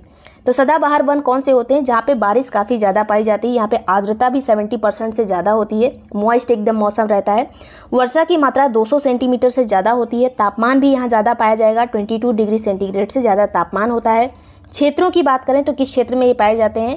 पहले तो पश्चिमी घाट में पाए जाते हैं, अंडमान निकोबार में पाए जाते हैं, उत्तर पूर्वी जो हमारा नॉर्थ ईस्ट वाला एरिया है, वहाँ पे पाए जाते हैं। अब इसमें कौन कौन से वृक्ष आएँगे जो सदाबहार वनों में होंगे? जो सदाबहार वन होते हैं, वो हमेशा घने रहते हैं और उसमें लंबाई बहुत ऊँचे ऊँचे पेड़ पाए जाते हैं। क्योंकि वन घने रहेंगे तो सूर्य का प्रकाश प्राप्त करने के लिए वनों की जो वृक्षों की जो लंबाई है, वो बढ़ती चली जाती है और बहुत लंबे लंबे वृक्ष पाए जाते हैं। और इसी तरह के जो जंगल होते हैं, जो सदाबहार वन होते हैं, उसी में रोजवुड पाया जाता है, उसी में महोगनी वाला पेड़ पाया जाता है एनी पाया जाता है, इबोनी पाया जाता है, कटहल, जामुन, होलक, सुपारी, साइडल और कैल, ये सभी जो वृक्ष हैं, कहाँ पाए जाएँगे? ये सभी सदाबहार वनों में पाए जाते हैं। इसमें से जो होलक, साइडर और कैल है, इस होलक, साइडर और कैल जो है अर्ध सदाबहार वन में आ जाता है, क्योंकि ये कभी कभी अपनी पत्तियाँ गिरा देते हैं। तो ये आर्द्र पर्णपाती हो जाते हैं हैं सदाबहार वन ये भी। लेकिन आर्द्र पर्णपाती सदाबहार वनों में आते हैं, जो अपनी पत्तियाँ भी गिराते हैं, लेकिन लगभग हरे भरे रहते हैं। इस तरह से थोड़ा सा कॉन्सेप्ट लगा के हमें पढ़ना है, जिससे चीज़ें आसान हो जाएँ, ज़्यादा रटना ना पड़े। तो ये हो गए सदाबहार वन वाले लक्षण। आगे बात करेंगे यहाँ पे उष्ण कटिबंधीय पर्णपाती वन, जो कि मानसूनी वन भी कहलाते हैं। ये कौन से वन होते हैं? इसमें दो टाइप होता है। एक है आर्द्र पर्णपाती वन, दूसरा है शुष्क पर्णपाती वन। अब जो आर्द्र पर्णपाती वन होगा, उसमें वर्षा की मात्रा 100 से 200 सेंटीमीटर तक होगी। जो शुष्क पर्णपाती वन वन होगा, उसमें 70 से 100 सेंटीमीटर तक वर्षा होगी। अब पहला वाला टाइप देखते हैं, आर्द्र पर्णपाती जो वन है, जिसमें 100 से 200 सेंटीमीटर वर्षा होती है, उसमें कौन कौन सा एरिया आता है कौन कौन सा क्षेत्र आता है इस वनों में? तो उत्तर पूर्वी राज्य वाला नॉर्थ ईस्टर्न एरिया आता है, हिमालय का जो निचला भाग है, तलहटी वाला एरिया वो आता है। इसके अलावा पश्चिमी घाट का जो पूर्वी ढाल है, पश्चिमी घाट की बात करें ये हो गया मान लीजिए पश्चिमी घाट, और इसका जो इधर वाला पार्ट है, ये पूर्वी ढाल वाला, ये आएगा उष्णकटिबंधीय मानसूनी वन में। इसके अलावा जो उड़ीसा वाला भाग है, वो भी आता है इसी आर्द्र पर्णपाती वन में। और इसमें कौन कौन से वृक्ष पाए जाते हैं? तो साल पाया जाता है इसमें, सागवन पाया जाता है, शीशम पाया जाता है, महुआ, आंवला, कुसुम और चंदन। ये सभी किसमें पाए जाते हैं? आर्द्र पर्णपाती वन में, यानी मानसूनी वन में। आगे बात करेंगे, शुष्क पर्णपाती वन, जहाँ पे 70 से 100 सेंटीमीटर तक वर्षा होती है। और इसमें ये सब उन्हीं एरियाज़ में होते हैं, जहाँ पे आर्द्र पर्णपाती वाले क्षेत्र थे, लेकिन इन्हीं में से कुछ वृक्ष जो होते हैं, वो शुष्क होते हैं। कुछ और एरिया भी इसमें ऐड होता है, जैसे दक्कन वाला एरिया जो दक्कन वाला पठार है, उस पर भी इस तरह के वन पाए जाते हैं, शुष्क पर्णपाती वन। हमेशा ये अपनी पत्तियाँ गिराते रहते हैं। एक एक मौसम ऐसा भी आता है, एकदम डंठल दिखता है। इसके अलावा उत्तर प्रदेश में ऐसे वन पाए जाते हैं, बिहार में, मध्य प्रदेश में, गुजरात में। और इसमें कौन कौन से वृक्ष आएँगे शुष्क पर्णपाती वाले में? तो इसमें अक्षल वुड आता है अमल तास आता है, खैर आता है, पीपल आता है, नीम आता है, तेंदू पलास साल, ये सभी आते हैं शुष्क पर्णपाती वन में। पीपल का आपने नीम का पेड़ देखा होगा, पीपल का पेड़ देखा होगा। कोई कोई मौसम में इसमें बिल्कुल भी पत्तियाँ नहीं होती हैं। आगे बात करेंगे उष्णकटिबंधीय कटीले वन कौन से होते हैं? तो इनमें जो वर्षा की मात्रा बहुत कम पाई जाती है, सत्तर सेंटीमीटर से कम इसमें वर्षा पाई जाती है। क्षेत्रों की बात करें तो दक्षिण पश्चिमी पंजाब वाला एरिया, पंजाब में बारिश कम होती है, क्योंकि वहाँ तक पहुँचते पहुँचते जो हवाएँ होती हैं, मानसूनी हवाएँ, उनका जो आर्द्रता है वो ख़त्म हो जाती है। ये हमने जलवायु वाले सेक्शन में पढ़ा था। प्लेलिस्ट में आपको मिल जाएगा पीटी वाली प्लेलिस्ट डिस्क्रिप्शन में दी हुई है। इसके अलावा हरियाणा वाले एरिया में भी कटेली वन, कटीले ही वन पाए जाते हैं। राजस्थान में तो ज़्यादातर कटीले वन ही पाए जाते हैं, कटीली झाड़ियाँ पाई जाती हैं। गुजरात में भी कटीले वन होते हैं, छत्तीसगढ़ में, मध्य प्रदेश में और उत्तर प्रदेश में। इन सभी एरियाज़ में जहाँ पे वर्षा कम पाई जाती है, वहाँ पे कटीले वन पाए जाते हैं। इसमें कौन कौन सा वृक्ष आएगा? तो अकाशिया आएगा, खजूर आएगा, यूफोरिया आएगा, बबूल आएगा, बेर आएगा, नागफनी आएगा, जो भी कटीली जो वनस्पति होती है, वो सभी आती है उष्णकटिबंधीय कटीले वनों में। आगे बात करेंगे, पर्वतीय वन, इसमें कहाँ कौन कौन से वन आएँगे? तो इनकी जो ऊंचाई होती है, काफ़ी ज़्यादा होती है, पहाड़ों पे पाए जाते हैं इस तरह के वन। लगभग 1800 से 3000 मीटर की ऊंचाई पर पाए जाते हैं। क्षेत्र की बात करें तो नेपाल से लेकर दक्षिण भारत में भी ये फैले हुए हैं। दक्षिण भारत का जो नीलगिरी वाला एरिया एरिया है, वहाँ पर ज़्यादातर ये वन पाए जाते हैं। और सबसे ऊपरी जो इसका हिस्सा होता है, वहाँ पर शंकुधारी वन पाए जाते हैं, जिनकी पत्तियाँ जो हैं पतली होती हैं, आगे की तरफ़ नुकीली पत्तियाँ होती हैं, उस तरह के वन इसमें पाए जाते हैं। और ये काफ़ी ऊंचाई पर होते हैं। और इनका जो बीच वाला एरिया होता है, मध्य भाग में पर्णपाती जैसे ओक तरह के वृक्ष पाए जाते हैं। ओक वृक्ष जो है, पर्वतीय वृक्ष है। इसके अलावा जो निचला वाला एरिया होता है, वहाँ पर रेडो रेड्रॉन और चंपा नाम के वृक्ष पाए जाते हैं। रेडो रेड्रॉन एक तरह की पहाड़ियाँ झाड़ियाँ होती हैं, जो कि पहाड़ों पर पाई जाती हैं। आगे बात करेंगे, अल्पाइन वृक्ष भी इसी में पाए जाते हैं, पर्वतीय वनों के अंतर्गत ही आते हैं, लेकिन तीन हज़ार मीटर से ऊपर ऊंचाई पर पाए जाते हैं। इसमें लार्च आता है, बर्च आता है, देवदार आता है, चिलकोजा, मैपल, ऐश, ये सभी वृक्ष किसमें आएँगे? अल्पाइन वनों में आएँगे, जो पर्वतीय वन का ही एक भाग है। तो ये सब वृक्ष पूछ लिए जाते हैं, कौन से पर्वतीय वन है? ज़्यादा डिटेल में नहीं पूछा जाता, लेकिन वृक्ष का नाम दे देगा और किस तरह के वन है, वही पूछ लिया जाता है। और सभी चीज़ जैसे यहाँ पे अल्पाइन लिखा है तो इस तरह से नहीं आता है, ज़्यादातर पर्वतीय ही लिख दिया जाता है। आगे बात करेंगे वेलांचली या अनूप वन किसे कहते हैं? यही दलदली वन है। ये आर्द्र भूमियों पर पाए जाते हैं, डेल्टाई क्षेत्र में पाए जाते हैं, जो अनदलदली भूमि होती झील वगैरह वहाँ पे मिलते हैं। अंडमान निकोबार में पाए जाते हैं, कृष्णा गोदावरी वाला जो डेल्टा है वहाँ पे पाए जाएँगे। चिल्का झील वाला जो एरिया है वहाँ पर पाए जाते हैं। सुंदरवन वाला जो एरिया है वहाँ पर पाए जाते हैं। तो इस तरह के जो है क्षेत्र, क्षेत्रों में पाए जाते हैं दलदली वन। वृक्षों की बात करें तो यहाँ पे पाइन पाया जाता है, खजूर पाया जाता है, ताड़ पाया जाता है तो ये सभी दलदली एरिया में होने वाले वृक्ष हैं पाइन खजूर और ताड़। तो चलिए शुरू करते हैं। सबसे पहले अक्षांश क्या होता है और देशांतर क्या होता है, ये जानने के बाद ही आप किसी जगह का टाइम निकाल सकते हैं। तो सबसे पहले अक्षांश को इंग्लिश में कहते हैं लेटीट्यूड जो ऐसी लेटी हुई रेखाएँ होती हैं, बस याद करने के लिए ऐसी लेटी हुई जो रेखाएँ होती हैं, उसे लेटीट्यूड यानी अक्षांश बोलते हैं। अब अक्षांश क्या होता है? तो पृथ्वी का केंद्र जो होता है, वहाँ से पृथ्वी के किसी बिंदु को, जो मापी गई एक कोणीय दूरी होती है, जो इन दोनों के बीच में यहाँ पे केंद्र पे कोण बनेगा, उसी को कहते हैं अक्षांश। इससे, इसके थ्रू जो रेखा खींची जाएगी, वो हमारी होगी अक्षांश रेखा। अब केंद्र बिंदु से अगर किसी जगह को मिलाएँ पृथ्वी पर पृथ्वी के केंद्र से किसी बिंदु को मिलाएँ और एक रेखा खींचें तो ये वाली रेखा जो बन के आ रही है, वही है अक्षांश। इस तरह की जो रेखाएँ हैं, वो ज़ीरो डिग्री से, यानी ये वाली जो अक्षांश रेखा जिसे भूमध्य रेखा के नाम से जानते हैं, उसके इधर से चलती जाती है और यहाँ तक आकर यहाँ पर नाइन्टी डिग्री, यानी ध्रुव है। ये हो गया उत्तरी ध्रुव, इधर हो गया ये दक्षिणी ध्रुव। अब यहाँ पे उत्तरी गोलार्ध की बात करें ज़ीरो डिग्री से ऊपर ये उत्तरी गोलार्ध हो गया नाइन्टी डिग्री तक। अब यहाँ पे ज़ीरो से लेकर नाइन्टी तक मतलब वन से नाइन्टी तक कितनी रेखाएँ हो गई? तो यहाँ पे नाइन्टी रेखाएँ हो गई। और इधर वाले वन से नाइन्टी तक, इधर नाइन्टी रेखाएँ हो गई। अभी ज़ीरो डिग्री था, इसे गिना नहीं किया है अभी तो एक ये हो गया ninety plus one plus ninety तो टोटल जो अक्षांश रेखाएँ निकल के आएँगी ninety plus ninety plus one ये हो जाएँगी वन एटी वन अक्षांश रेखाएँ।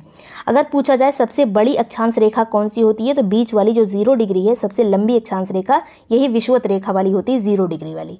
पूछा जाए अगर सबसे छोटी अक्षांश रेखा कौन सी होती है तो नाइन्टी डिग्री वाली जो ध्रुवों वाली होती है, उत्तरी ध्रुव और दक्षिणी ध्रुव। ये केवल एक बिंदी होती है प्रॉपर रेखा भी नहीं होती है, इसलिए कभी कभी ये वन एट्टी वन जो है, इसको दो माइनस कर दिया जाता है, क्योंकि ध्रुव केवल एक बिंदी होता है यहाँ पे आके, यहाँ कोई रेखा नहीं बनती है, इसीलिए one eighty one minus two हो जाता है वन नाइन तो अगर प्रॉपर यहाँ पे रेखाएँ पूछी जाए, और वन एट्टी वन उसमें ऑप्शन में ना मिले तो वन सेवेंटी नाइन वाला सही होगा। अब यहाँ पे एक चीज़ और देख लीजिए अगर इस तरह वाला जो ये स्थिति है, ज़ीरो से लेकर नाइन्टी वाला, इसको अगर इस तरह से अगर खींच लिया जाए तो ये ज़ीरो डिग्री हो गया। साढ़े तेईस डिग्री को कर्क रेखा कहते हैं। इसके अलावा साढ़े छाछठ डिग्री को उत्तरी उपध्रुव कहते हैं। साढ़े छाछठ डिग्री वाला जो क्षेत्र होता है, उसे उत्तरी उपध्रुव कहा जाता है। उसके बाद नाइन्टी डिग्री वाला जो क्षेत्र होता है, इसे ध्रुव कहा जाता है। इसी तरह से ये दक्षिणी गोलार्ध में भी होता है। आगे बात करेंगे। अगर दो अक्षांश लिया जाए, अगर पूछा जाए कि दोनों अक्षांशों के बीच में दूरी कितनी होती है तो ये जो दूरी होती है, वो 111 किलोमीटर की दूरी होती है। नेक्स्ट है यहाँ पर। अब यहाँ पे देशांतर रेखाएँ देख लेते हैं, जिसे कहते हैं लॉन्गिट्यूड जो लंबी लंबी ऐसे ऐसे रेखाएँ होती हैं, उसे कहते हैं लॉन्गिट्यूड और ये जो रेखाएँ होती हैं, ये प्रधान यामी उत्तर, यानी ये जो ज़ीरो डिग्री देशांतर है, इसे कहते हैं प्रधान यामी उत्तर। इसके पूर्व में और इसके पश्चिम में जो जो रेखाएँ होती हैं, उसी को कहते हैं देशांतर रेखाएँ। अब ज़ीरो डिग्री जो देशांतर है, ये कहाँ से होकर गुजरती है? तो लंदन में एक शहर है, जिसका नाम है, एक स्थान है, जिसका नाम है ग्रीनविच। तो लंदन के ग्रीनविच से होकर गुजरती है। उसी को एक स्टैंडर्ड रेखा मान लिया गया है। उसी को एक काल्पनिक रेखा उसमें उस पर ग्रीनविच से होती हुई जाती है। इसी को कहते हैं जीएमटी यानी ग्रीनविच मीन टाइम। इसका जीएमटी का फुल फॉर्म भी पूछा जा सकता है, ग्रीनविच मीन टाइम। अभी जो रेखा है जीएमटी वाली, यानी ग्रीनविच वाली रेखा, ये सिर्फ़ लंदन से तो होकर जाएगी नहीं। ये यूरोप के लंदन से होकर जाती है। इसके अलावा और भी जो देश हैं, उनसे भी होकर गुजरती है, क्योंकि एक सीधी रेखा है तो ये यूरोप में कहाँ कहाँ से होकर गुजरती है? तो एक तो लंदन हो गया, यानी इंग्लैंड हो गया इंग्लैंड की राजधानी लंदन। उसके बाद एक फ्रांस से होकर गुजरती है, एक स्पेन से होकर गुजरती है। तो यूरोप के यहाँ पर तीन देशों से होकर गुजरती है। इसके अलावा ये अफ्रीका में भी जाती है, क्योंकि आपने अगर मैप देखा होगा तो यूरोप के नीचे ही है अफ्रीका महाद्वीप। अब अफ्रीका में ये अल्जीरिया से होकर जाती है, माली से होकर जाती है, बुर्किना फासो से, टोगो से और घाना से। ये यहाँ पे जो बाकी चीज़ें हैं, ये आपकी पीटी के सिलेबस में तो नहीं है। पीटी के सिलेबस में ज़्यादा डीप हो जाएगा, उसमें नहीं पूछी जाएँगी। उसमें केवल ग्रीनविच वाला पूछा जा सकता है, ग्रीनविच शहर कहाँ पे है? तो लंदन में स्थित है। और ये जो बाकी चीज़ें हैं आपको आर ओ या फिर वीडियो के एग्ज़ाम में मिल सकती हैं। इसके अलावा जो अफ्रीका महाद्वीप के बाद या अंटार्कटिका में जाती है, उसके बाद दक्षिणी ध्रुव में इंटर हो जाती है। आप एक बार वर्ल्ड मैप को खोल लीजिएगा। आगे बात करेंगे। देशांतर रेखाओं की संख्या की बात करें तो पृथ्वी हमारी गोल है पूरी, और ये हो गया ज़ीरो डिग्री, ये हो गया ज़ीरो डिग्री, जिसे कहते हैं प्रधान यामी उत्तर या फिर यही है ग्रीनविच रेखा। इसके इधर वाली जो रेखाएँ, इधर वाला जो क्षेत्र है, उसे कहते हैं पश्चिमी क्षेत्र, और इधर वाला जो क्षेत्र है, ये हो गया पूर्वी देशांतर वाला क्षेत्र। तो अब इधर पश्चिमी देशांतर की बात करें तो टोटल यहाँ पे मिला के 180 तक जाता है 180 यहाँ पे रेखाएँ हो गई इधर, और इधर की बात करें तो इधर भी 180 रेखाएँ हो जाएँगी, लेकिन यहाँ पे जो आखिरी वाली रेखा आएगी 180 डिग्री वाली, वही आपको इधर भी मिली थी क्योंकि पृथ्वी गोल है। आप किधर से भी जाएँगे तो 180 डिग्री पे एक बार ज़रूर पहुँचेंगे। तो इधर 180 डिग्री हो गई। अब यहाँ पे बीच में ज़ीरो डिग्री भी एक बार ले लेते हैं। इधर ज़ीरो, ये वन हो गया 180 प्लस वन, प्लस इधर अगर एक बार इसको छोड़ दिया जाएगा। इधर हमने एक बार इसको गिन लिया था 180 डिग्री को। अब इधर छोड़ देंगे तो 179 हो जाएगा। टोटल यहाँ पे ऐड करेंगे तो 360 देशांतर रेखाएँ होती हैं। 180 प्लस ज़ीरो डिग्री वाला ये वन हो गया। उसके बाद एक रेखा ये हो गई। इधर वाली कितनी रेखाएँ हो गई? 179 टोटल मिला के तीन रेखाएँ होती हैं। और 360 ही हमारी अगर पृथ्वी एक बार घूम जाए तो 360 डिग्री पर ये घूम जाती है मतलब एक चक्कर पूरा हो गया। आगे बात करेंगे। अब विश्वत रेखा पर देशांतर की आपस में दूरी कितनी होती है? तो सबसे ज़्यादा दूरी की अगर बात करें देशांतर रेखाओं की तो ये विश्वत रेखा पर ही सबसे ज़्यादा दूरी होती है और धीरे धीरे यहाँ पे बढ़ते जाएँगे, जैसे जैसे बढ़ते जाएँगे तो ध्रुवों पर ये दूरी बिल्कुल नहीं रह जाती, ध्रुवों पर ये दूरी शून्य हो जाती है। तो यही वाली दूरी पूछी जाती है कि विश्वत रेखा पर देशांतर रेखाओं की आपस में दूरी कितनी होती है? तो एक किलोमीटर होती है देशांतर पर विश्वत रेखा पर देशांतर रेखाओं के बीच में आपस में दूरी। आगे बात करेंगे एक डिग्री अगर देशांतर पृथ्वी को घूमना है एक डिग्री देशांतर की दूरी अगर तय करनी है पृथ्वी को तो उसको कितना समय लगेगा? तो ये याद कर लीजिए कि चार मिनट का समय लगता है एक एक डिग्री घूमने के लिए पृथ्वी को। अब अगर पृथ्वी को 360 डिग्री घूमना है मतलब पूरा धुरी पे अपने पूरा एक चक्कर लगा लेना है, वही उसी को कहते हैं 360 डिग्री, इसको पूरा घूमने में आपको ये तो पता ही होगा कि चौबीस घंटे में पृथ्वी जो है अपनी धुरी पर पूरा घूम लेती है। अभी चौबीस घंटे कहाँ से आते हैं? तो हमने ये पढ़ा है कि एक देशांतर, एक डिग्री देशांतर घूमने में चार मिनट का समय लगता है। अब तीन सौ साठ डिग्री घूमने में कितना समय लगेगा? तो तीन सौ साठ साठ इंटू चार। तो यही मल्टीप्लाई करके आप पूरा मिनट निकाल लेंगे तो 1440 मिनट आएगा। अब 1440 ये मिनट दिया हुआ है, इसे हमें घंटे में चेंज करना है। तो 60 से भाग दे देंगे क्योंकि एक घंटे में 60 मिनट होते हैं। तो 60 से भाग देना पड़ेगा और आएगा 24 आंसर 24 घंटा आ जाएगा हमारा आंसर इस तरह से पृथ्वी जो है अपना एक चक्कर चौबीस घंटे में पूरा करती है। आगे यहाँ पर एक चीज़ और जान लीजिए। पृथ्वी जो है पश्चिम से पूर्व अपनी धुरी पर घूमती है सबको पता होगा, हमने पहले भी पढ़ लिया है इसे, पृथ्वी वाले चैप्टर में। तो पश्चिम से पूर्व अपनी धुरी पर पृथ्वी घूमती है और सूर्य आपको पता होगा पूर्व में उदित होता है, पूर्व में निकलता है सूर्य। तो जब सूर्य पूर्व में निकलेगा, जो पूर्व वाला सिरा होगा, वो पहले चमकेगा, क्योंकि पृथ्वी जो है पश्चिम से पूर्व जा रही है मतलब पूर्व वाला भाग सूर्य के सामने पहले आएगा तो वहाँ पर दिन पहले होगा। इसी तरह से जैसे अरुणाचल प्रदेश में दो घंटे पहले दिन हो जाता है, वहीं गुजरात जो हमारा एकदम पश्चिमी वाला एरिया है, वहाँ पर दो घंटे बाद में दिन होता होता है। अगर हम अरुणाचल प्रदेश जाएँगे तो सुबह जल्दी जल्दी हो जाएगी और गुजरात में वही सुबह बहुत देर में होती है। तो इस तरह से पूर्व वाला एरिया जो है, समय आगे रहता है, पश्चिम में समय पीछे रहता है थोड़ा। अब ये किस तरह से बात की जा रही है पश्चिम पूर्व? तो ये ज़ीरो डिग्री हो गया, इधर वाला एरिया आगे रहेगा, इधर वाला एरिया पीछे रहेगा। भारतीय मानक समय की बात करें, भारतीय मानक समय रेखा क्या है? हमारी स्टैंडर्ड टाइम जो हमारा माना जाता है, वो कौन से देशांतर को लिया गया है? तो माना गया है साढ़े बयासी डिग्री पूर्वी देशांतर। तो हमारा पूरा देश ही पूर्वी देशांतर में स्थित है। हमारा पूरा देश जो है, ये बीच वाली रेखा ज़ीरो डिग्री हो गई, हमारा पूरा देश यहाँ पर स्थित है। तो पूरा का पूरा देश हमारा पूर्वी देशांतर में ही स्थित है, उत्तरी गोलार्ध के पूर्वी देशांतर पर। तो हमारा जो मानक समय रेखा है, वो है साढ़े बयासी डिग्री पूर्वी देशांतर। अब ये साढ़े बयासी जो है, इस तरह से भी लिखा जा सकता है, ये साढ़े बयासी इस तरह से भी लिखा जा सकता है। और यूपी में कहाँ से होकर गुजरती है? तो नैनी इलाहाबाद और मिर्ज़ापुर से होकर गुजरती है हमारी मानक समय रेखा अब ये सिर्फ़ उत्तर प्रदेश से होकर तो गुजरती नहीं होगी, क्योंकि ये साढ़े बयासी डिग्री पूरी एक रेखा है। तो भारत के किस किस राज्य से होकर मानक समय रेखा गुजरती है, ये भी क्वेश्चन पूछा जा सकता है। तो भारत के पाँच राज्यों से होकर समय रेखा गुजरती है। पहला तो उत्तर प्रदेश हो गया, उसके बाद मध्य प्रदेश उसी के नीचे है, मध्य प्रदेश में जाती है। उसके बाद मध्य प्रदेश से ही अलग हुआ है छत्तीसगढ़ छत्तीसगढ़ राज्य में जाती है, उसके बाद उड़ीसा में जाती है। उड़ीसा के बाद ये आंध्र प्रदेश में जाती है। तो इस तरह से रट लीजिए, उत्तर प्रदेश, मध्य प्रदेश छत्तीसगढ़ उड़ीसा और आंध्र प्रदेश। आगे बात करेंगे यहाँ पर। हमारा जो समय है ग्रीन विच से कितना आगे? ग्रीन विच यानी ज़ीरो डिग्री से हमारा समय कितना आगे चलता है? तो ये साढ़े पाँच घंटे हमारा समय आगे चलता है। अब आगे क्यों कहेंगे? क्योंकि ये ग्रीन विच के पूरब में है। ग्रीन विच ये हो गया ज़ीरो डिग्री इसके पूरब में जो भी होगा उसे कहा जाएगा ये आगे है। मतलब पूर्वी देशांतर में स्थित है। तो साढ़े पाँच घंटे हम आगे चलते हैं, हमारे यहाँ जल्दी सुबह हो जाती है। अब यहाँ पर अगर बात करें, ये साढ़े पाँच घंटे कैसे आया? तो साढ़े बयासी डिग्री पर हम स्थित हैं और यहाँ पर है ज़ीरो डिग्री यहाँ पे ज़ीरो डिग्री हम साढ़े बयासी पे हैं तो पृथ्वी को एक देशांतर चलने में चार मिनट का समय लगता है तो साढ़े बयासी तक पहुँचने में साढ़े बयासी इंटू फोर हो जाएगा तो थ्री थर्टी मिनट्स आएँगे। अब इसे मिनट्स को घंटे में बदलना है, साठ से भाग देना पड़ेगा, उसके बाद साढ़े पाँच घंटे आ जाएँगे। तो इस तरह से निकालते हैं, कोई भी आप, आपको दे दिया जाए कोई भी ऐसे देशांतर का जो वैल्यू है, वो दे दी जाए, कोई भी स्थान की वैल्यू तो इस तरह से आप समय निकाल सकते हैं कि ग्रीनविच से कितना आगे है या कितना पीछे है। अगर पूर्वी लिखा रहे तो मतलब वो आगे है। अगर पश्चिमी लिखा रहे तो वो मतलब पीछे है ग्रीनविच के।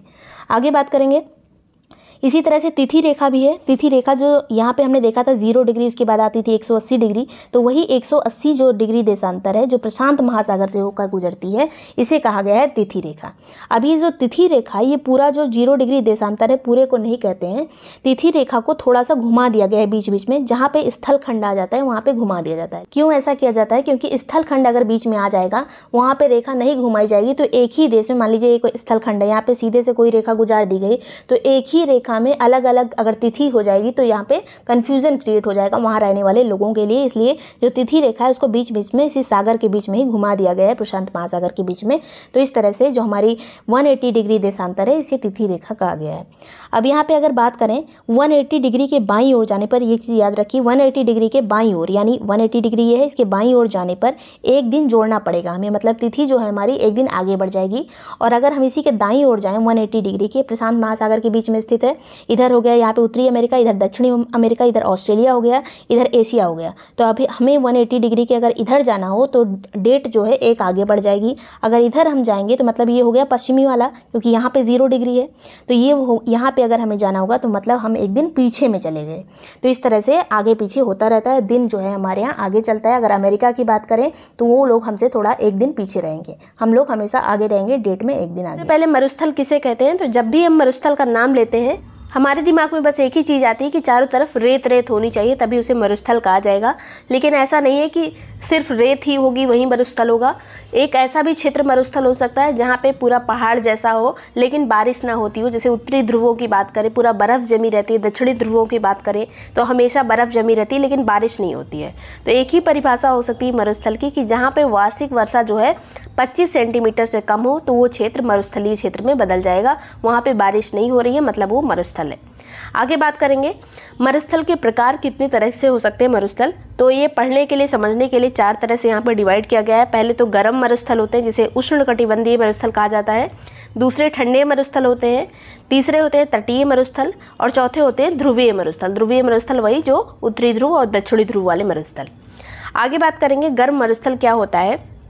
तो इस तरह के जो मरुस्थल होते हैं, ये कर्क रेखा और मकर रेखा के बीच में पाए जाते हैं। जैसे हमारी पृथ्वी है, ये हो गई भूमध्य रेखा, यहाँ पे कर्क रेखा है, ये है मकर रेखा। तो इनके बीच में ज़्यादातर जितने भी मरुस्थल पाए जाते हैं, वो सभी गर्म मरुस्थल होते हैं। यहाँ पे टेम्परेचर जो है बहुत ज़्यादा होता है। अधिकतर ये जो गर्म वाले मरुस्थल होते हैं, ये ट्वेंटी से लेकर थर्टी जो लेटीट्यूड है, अक्षांश है, उसके बीच में उसी के आसपास ये पाए जाते हैं। ट्वेंटी से लेकर थर्टी दक्षिणी वाले में और ट्वेंटी से लेकर थर्टी जो उत्तरी गोलार्ध है उसमें।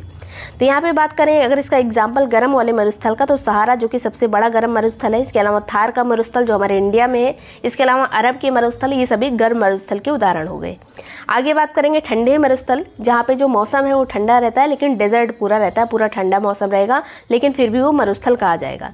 तो ऐसे मरुस्थल कहाँ पाए जाते हैं? ये उच्च अच्छांशों में पाए जाते हैं, पर्वतीय क्षेत्रों में पाए जाते हैं, लेकिन वहाँ पर वर्षा जो है वो कम होनी चाहिए। जैसे हमारे यहाँ भी लद्दाख वाला जो एरिया है, वहाँ पर वर्षा काफ़ी कम होती है। जैसा कि हमने जलवायु वाले सेक्शन में देखा था कि लद्दाख तक जब तक हमारा मानसून पहुँचता है तो आर्द्रता कम हो जाती है तो बारिश नहीं होती है। तो लद्दाख हमारे यहाँ ठंडा मरुस्थल है। इसके अलावा गोभी का मरुस्थल है, तकला मकान ये सब अभी हम देखेंगे कहाँ कहाँ पर कौन से स्थित है। आगे यहाँ पर बात करेंगे, सब मैप के माध्यम से हमें पढ़ना है। तीसरा जो टाइप है इसका मरुस्थलों का, वो है तटीय मरुस्थल। तटीय मरुस्थल जो है, ये समुद्र के किनारे तटों पर पाए जाते हैं और ये जो बनते हैं तटीय वाले मरुस्थल, ये ज़्यादातर किस प्रभाव से बनते हैं अगर पूछा जाए तो ये ठंडी जो महासागरीय धाराएँ होती हैं, जो महासागर की धाराएँ, आपने कभी पढ़ा होगा तो महासागरीय धाराओं के प्रभाव से ये मरुस्थल बनते हैं। इसका एग्ज़ाम्पल एक है अटाकामा मरुस्थल, जो कि दक्षिण अमेरिका में पाया जाता है, इंडीज पर्वत के आसपास। आगे बात करेंगे, चौथा जो टाइप है, वो है ध्रुवीय मरुस्थल। अगर पूछा जाए कि पृथ्वी पे सबसे बड़ा मरुस्थल कौन सा है और उसमें कहीं भी भी ध्रुवों का नाम आ जाए, ध्रुवों वाला ऑप्शन हो तो यही वाला सबसे बड़ा मरुस्थल होगा। इसके अलावा ज़्यादातर ये नहीं दिया रहता ऑप्शन में, सहारा दिया रहता है तो सहारा सबसे बड़ा होगा। ध्रुवों पर जो ये मरुस्थल है, उत्तरी ध्रुव, दक्षिणी ध्रुव, दोनों जो है सबसे ठंडा मरुस्थल है और सबसे बड़ा मरुस्थल है विश्व का। आगे बात करेंगे अब यहाँ पे कॉन्टिनेंट वाइज देखेंगे मैप के माध्यम से जितने भी कॉन्टिनेंट हैं, वहाँ पे कौन कौन से जो मरुस्थल हैं वो पाए जाते हैं। तो सबसे पहले अफ्रीका कॉन्टिनेंट अफ्रीका महाद्वीप से शुरुआत करेंगे। सबसे बड़ा अगर विश्व का मरुस्थल पूछा जाए तो ये है सहारा मरुस्थल, जो कि अफ्रीका में पाया जाता है। अगर ये पूछा जाए कि अफ्रीका के किस साइड में तो अफ्रीका के उत्तरी साइड में पाया जाता है। अभी यहाँ पर देखेंगे कौन कौन से देश से इसकी इसकी सीमा लग रही है, ये भी पूछ लिया जाता है। अब यहाँ पे दो और मरुस्थल है अफ्रीका में। एक तो हो गया यहाँ पे कालाहारी, जो कि दक्षिण में स्थित है अफ्रीका के, और दूसरा हो गया नामिब ये भी दक्षिण दक्षिण साइड में स्थित है अफ्रीका के। अब सबसे पहला जो हमने देखा था, सहारा मरुस्थल, ये विश्व का सबसे बड़ा गर्म मरुस्थल है। उष्ण मरुस्थल कह सकते हैं या गर्म मरुस्थल कह सकते हैं। तो विश्व का सबसे बड़ा गर्म मरुस्थल कौन सा है? सहारा है। ये कहाँ से कहाँ तक फैला हुआ है सहारा मरुस्थल? तो यहाँ देखिए, इधर अटलांटिक महासागर हो गया, इधर पूरा ये अटलांटिक महासागर हो गया, इधर लाल सागर है तो इनके बीच में ये फैला हुआ है पूरा सहारा मरुस्थल, पूरा उत्तरी अफ्रीका को घेरे हुए है। आगे बात करेंगे यहाँ पर किस किस देशों से इसकी सीमा लगती है? कौन कौन से देशों में ये फैला हुआ है सहारा मरुस्थल?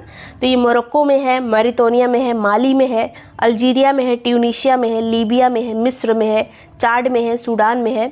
मिस्र में एक नदी है, नील नदी। उसको कहा जाता है कि मिस्र की जीवनदायनी है। मतलब यहाँ पे जो मिस्र की जो सभ्यता है, यहीं पे इसका जन्म हुआ था, नील नदी के आसपास। तो सारी जगह पे मरुस्थल है, लेकिन यहाँ पे थोड़ा अच्छी खासी, थोड़ा खेती वगैरह भी हो जाती है मिस्र में। इसलिए कहा गया है नील नदी को मिस्र की जीवनदायनी नदी, क्योंकि चारों तरफ़ मरुस्थल है और कहीं पर अगर नदी वगैरह मिल गई तो वहाँ पर खेती वगैरह अच्छे से हो जाती है। आगे बात करेंगे, ये जो देशों के नाम यहाँ पे दिए गए हैं, सहारा मरुस्थल किस कहाँ कहाँ पर फैला हुआ है, ये आपको आर ओ यारो या पी के एग्ज़ाम के लिए इंपॉर्टेंट है। अगर ये पूछा जाएगा, अगर पी e के एग्ज़ाम में तो सिर्फ़ इतना पूछा जाएगा किस महाद्वीप में स्थित है। तो अफ्रीका महाद्वीप में सहारा मरुस्थल स्थित है। अगर ज़्यादा कुछ पूछना होगा तो सिर्फ़ इतना पूछा जा सकता है कि अफ्रीका के किस साइड में तो उत्तरी साइड में है। आगे बात करेंगे, अगला जो मरुस्थल है अफ्रीका वाला, वो है कालाहारी मरुस्थल। कालाहारी भी एक गर्म मरुस्थल है और इसकी जो सीमा है कहाँ कहाँ पे है तो ये दक्षिण अफ्रीका में फैला हुआ है। ज़्यादातर ये दक्षिण अफ्रीका में, इसके अलावा बोत्सवाना और नामीबिया में भी फैला हुआ है कालाहारी मरुस्थल। कालाहारी में एक जनजाति पाई जाती है, जो कि काफ़ी फ़ेमस है और एग्ज़ाम में पूछ ली जाती है तो कालाहारी मनुस्थल में बुशमैन जनजाति पाई जाती है। बुशमैन आगे बात करेंगे नामिब मरुस्थल, ये भी गर्म मरुस्थल है नाबिब मरुस्थल। और इसकी जो सीमा है वो नामीबिया देश में ज़्यादातर ये नामीबिया देश में इसके अलावा अंगोला और दक्षिण अफ्रीका में भी इसकी सीमाएँ फैली हुई हैं। अब यहाँ पर देख लेते हैं नामिब कहाँ पर है। तो नामिब ये वाला मरुस्थल है और ये जाके कालाहारी में ही मिल जाता है। ये है कालाहारी, जो कि दक्षिण अफ्रीका, बोत्सवाना और नामीबिया में फैला हुआ है। नामिब ज़्यादातर यहाँ पर नामीबिया देश में ही है। आगे बात करेंगे अगला जो महाद्वीप है, वो है एशिया महाद्वीप। यहाँ पे कौन कौन से मरुस्थल हैं? तो पहले मैप से देख लीजिए। ये वाला है गोभी मरुस्थल। तकला मकान है यहाँ पर। इधर लद्दाख है। ये थार का मरुस्थल है हमारे राजस्थान में।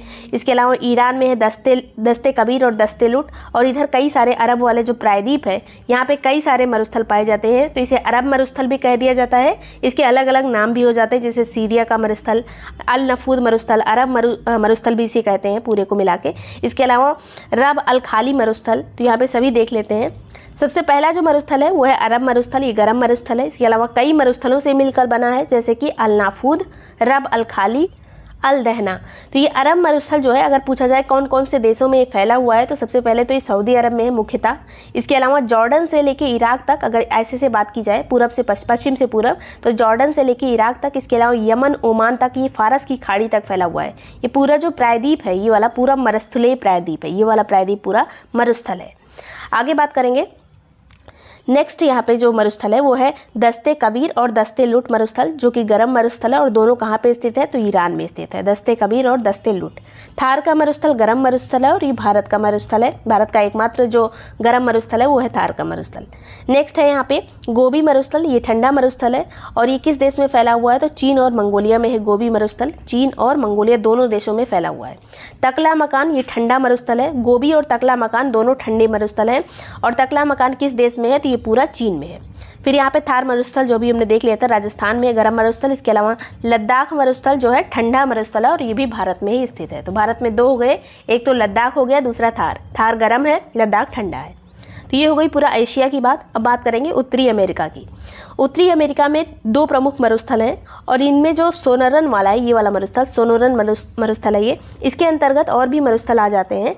एक सोनरन हो गया, दूसरा हो गया मोजावी दोनों कहाँ स्थित हैं? दोनों उत्तरी अमेरिका में स्थित है। अब यहाँ पे देख लेंगे सोनोरन वाला। तो ये एक उपोष्ण कटिबंधीय मरुस्थल है, जो कि गर्मी में बहुत गर्म रहता है, ठंडी में बहुत ठंडा रहता है। और इसी मरुस्थल सोनोरन के आसपास ही चिहुआ हुआन एक मरुस्थल भी है। चिहुआ हुआन, इसके अलावा कोलेरोडो मरुस्थल भी इसी में आता है। तो टोटल सबको मिला के उसका नाम रख दिया गया है सोनोरन मरुस्थल। ज़्यादातर यही वाला नाम पूछा जाता है। अब इसकी सीमा कहाँ कहाँ पे जाती है? तो मुख्यतः ये यूएसए में है। इसके अलावा मैक्सिको में भी ये फैला हुआ है सुनरन। इसके अलावा सेकंड वाला जो भी हमने देखा था, मोजावे मरुस्थल, ये भी अमेरिका में स्थित है। यहाँ पे देखिए मोजावे मरुस्थल जो है, पूरी तरह से ये अमेरिका में स्थित है। तीन मेजर कंट्रीज़ हैं उत्तरी अमेरिका में। एक तो ऊपर कनाडा हो गया, यहाँ पर हो गया अमेरिका और नीचे हो गया मैक्सिको। तो मोजावे पूरी तरह से अमेरिका में स्थित है। आगे बात करेंगे दक्षिण अमेरिका की, अभी तो हमने उत्तरी अमेरिका कॉन्टिनेंट की बात की थी। अब यहाँ पे दक्षिणी अमेरिका में आते हैं तो यहाँ पे दो मरुस्थल हैं प्रमुख, एक हो गया ये अटाकामा मरुस्थल, दूसरा ये दक्षिण में पैटागोना पैटागोनिया मरुस्थल। अटाकामा वाला जो है, ये, यही है तटीय मरुस्थल, जिसे, तटीय मरुस्थल का उदाहरण कहा गया है, अटाकामा मरुस्थल को। और इधर दक्षिण में स्थित है, अगर पूछा जाए पैटागोनिया मरुस्थल, कहाँ पर स्थित है तो दक्षिणी अमेरिका के दक्षिणी छोर पर। आगे बात करेंगे यहाँ पे, जो अटाकामा मरुस्थल है, ये उष्ण मरुस्थल है, तटीय उष्ण मरुस्थल, और ये एंडीज पर्वत के पश्चिम में प्रशांत महासागर के तट पर फैला हुआ है। ये वाला यहाँ पे जो एंडीज पर्वतमाला है, पूरा दक्षिणी अमेरिका में यहाँ से यहाँ तक फैली हुई है, सबसे लंबी पर्वतमाला है एंडीज पर्वतमाला, और इसी के आसपास ही है ये मरुस्थल, अटाकामा मरुस्थल। यहाँ पे एक पतला सा देश है, जिसका नाम है चिली। तो चिली में ही ज़्यादातर ये फैला हुआ है अटाकामा, और यहाँ पे ये गर्म मरुस्थल पाया जाता है। और दूसरा वाला जो मरुस्थल है सेकेंड वाला वो है पेटागोना पैटागोनिया मरुस्थल। ये ठंडा मरुस्थल है। कौन कौन से देशों में ये फैला हुआ है पेटागोनिया मरुस्थल? तो मुख्यतः ये अर्जेंटीना में फैला हुआ है। इसके अलावा दक्षिण पूर्व चिली में भी ये फैला है। तो अर्जेंटीना और चिली में ये फैला हुआ है पेटागोनिया मरुस्थल। नेक्स्ट है यहाँ पर ऑस्ट्रेलिया महाद्वीप। ऑस्ट्रेलिया में कई सारे मरुस्थल हैं। इसको मरुस्थलीय भूमि पूरा बोला गया ऑस्ट्रेलिया को, क्योंकि यहाँ बारिश वगैरह काफ़ी कम होती है। और इसको जो है सूखी प्यासी धरती की भूमि भी बोला गया है। सूखी धरती बोला गया है। तो ये ज़्यादातर मरुस्थलीय क्षेत्र है पूरा ऑस्ट्रेलिया महाद्वीप। ऑस्ट्रेलिया में एक ही यहाँ पे कंट्री आता है, जो कि है ऑस्ट्रेलिया। तो इसी को पूरा पढ़ना है। तो पहला है यहाँ पर ग्रेट विक्टोरिया ग्रेट विक्टोरिया ये वाला मरुस्थल है। और ये ऑस्ट्रेलिया का सबसे बड़ा मरुस्थल है। पूछा जाए कि ऑस्ट्रेलिया का सबसे बड़ा मरुस्थल कौन सा है तो ग्रेट विक्टोरिया विक्टोरिया नाम की एक झील भी है। विक्टोरिया नाम की झील कहाँ है तो वो है तंजानिया में, अफ्रीका महाद्वीप में। और विक्टोरिया मरुस्थल कहाँ है तो ये ऑस्ट्रेलिया में स्थित है। आगे बात करेंगे, अगला जो मरुस्थल है, वो है गिप्सन मरुस्थल। ये हो गया गिप्सन इधर हो गया विक्टोरिया, ये हो गया गिप्सन ये हो गया सैंडी, फिर इधर तनामी हो गया सिम्सन हो गया और स्टुअर्ट। सभी आपको यहाँ पे मैप से ही दिख जा रहा है कि सभी ऑस्ट्रेलिया में ही स्थित है। तो गिप्सन भी हो गया ऑस्ट्रेलिया में, सैंडी ऑस्ट्रेलिया में सिम्सन ऑस्ट्रेलिया में स्टुअर्ड ऑस्ट्रेलिया में और तनामी भी ऑस्ट्रेलिया में। और जितने यहाँ पे मरुस्थल हैं, सभी गर्म ही मरुस्थल हैं। जितने भी मरुस्थल दिख रहे हैं, सभी गर्म मरुस्थल के उदाहरण हैं। तो यहाँ पे सभी मरुस्थल, विश्व के सभी मरुस्थल हमने महाद्वीप वाइज कवर कर लिए जिससे याद करने में आसानी हो। और इससे बाहर आपको विश्व के मरुस्थलों में नहीं पूछा जाता है। अक्सर इन्हीं में से क्वेश्चन आपको मिल जाएँगे। वीडियो पसंद आया तो लाइक और सब्सक्राइब कर लीजिएगा। आर यारो या फिर वीडियो का पेड ग्रुप ज्वाइन करने के लिए आप seven three five five four five nine one three five पर कॉन्टैक्ट कर सकते हैं, जिसमें एक्सप्लेन टेस्ट सीरीज़ के साथ जितने भी शॉर्ट नोट वगैरह हैं, वो सब आपको प्रोवाइड किए जाएँगे।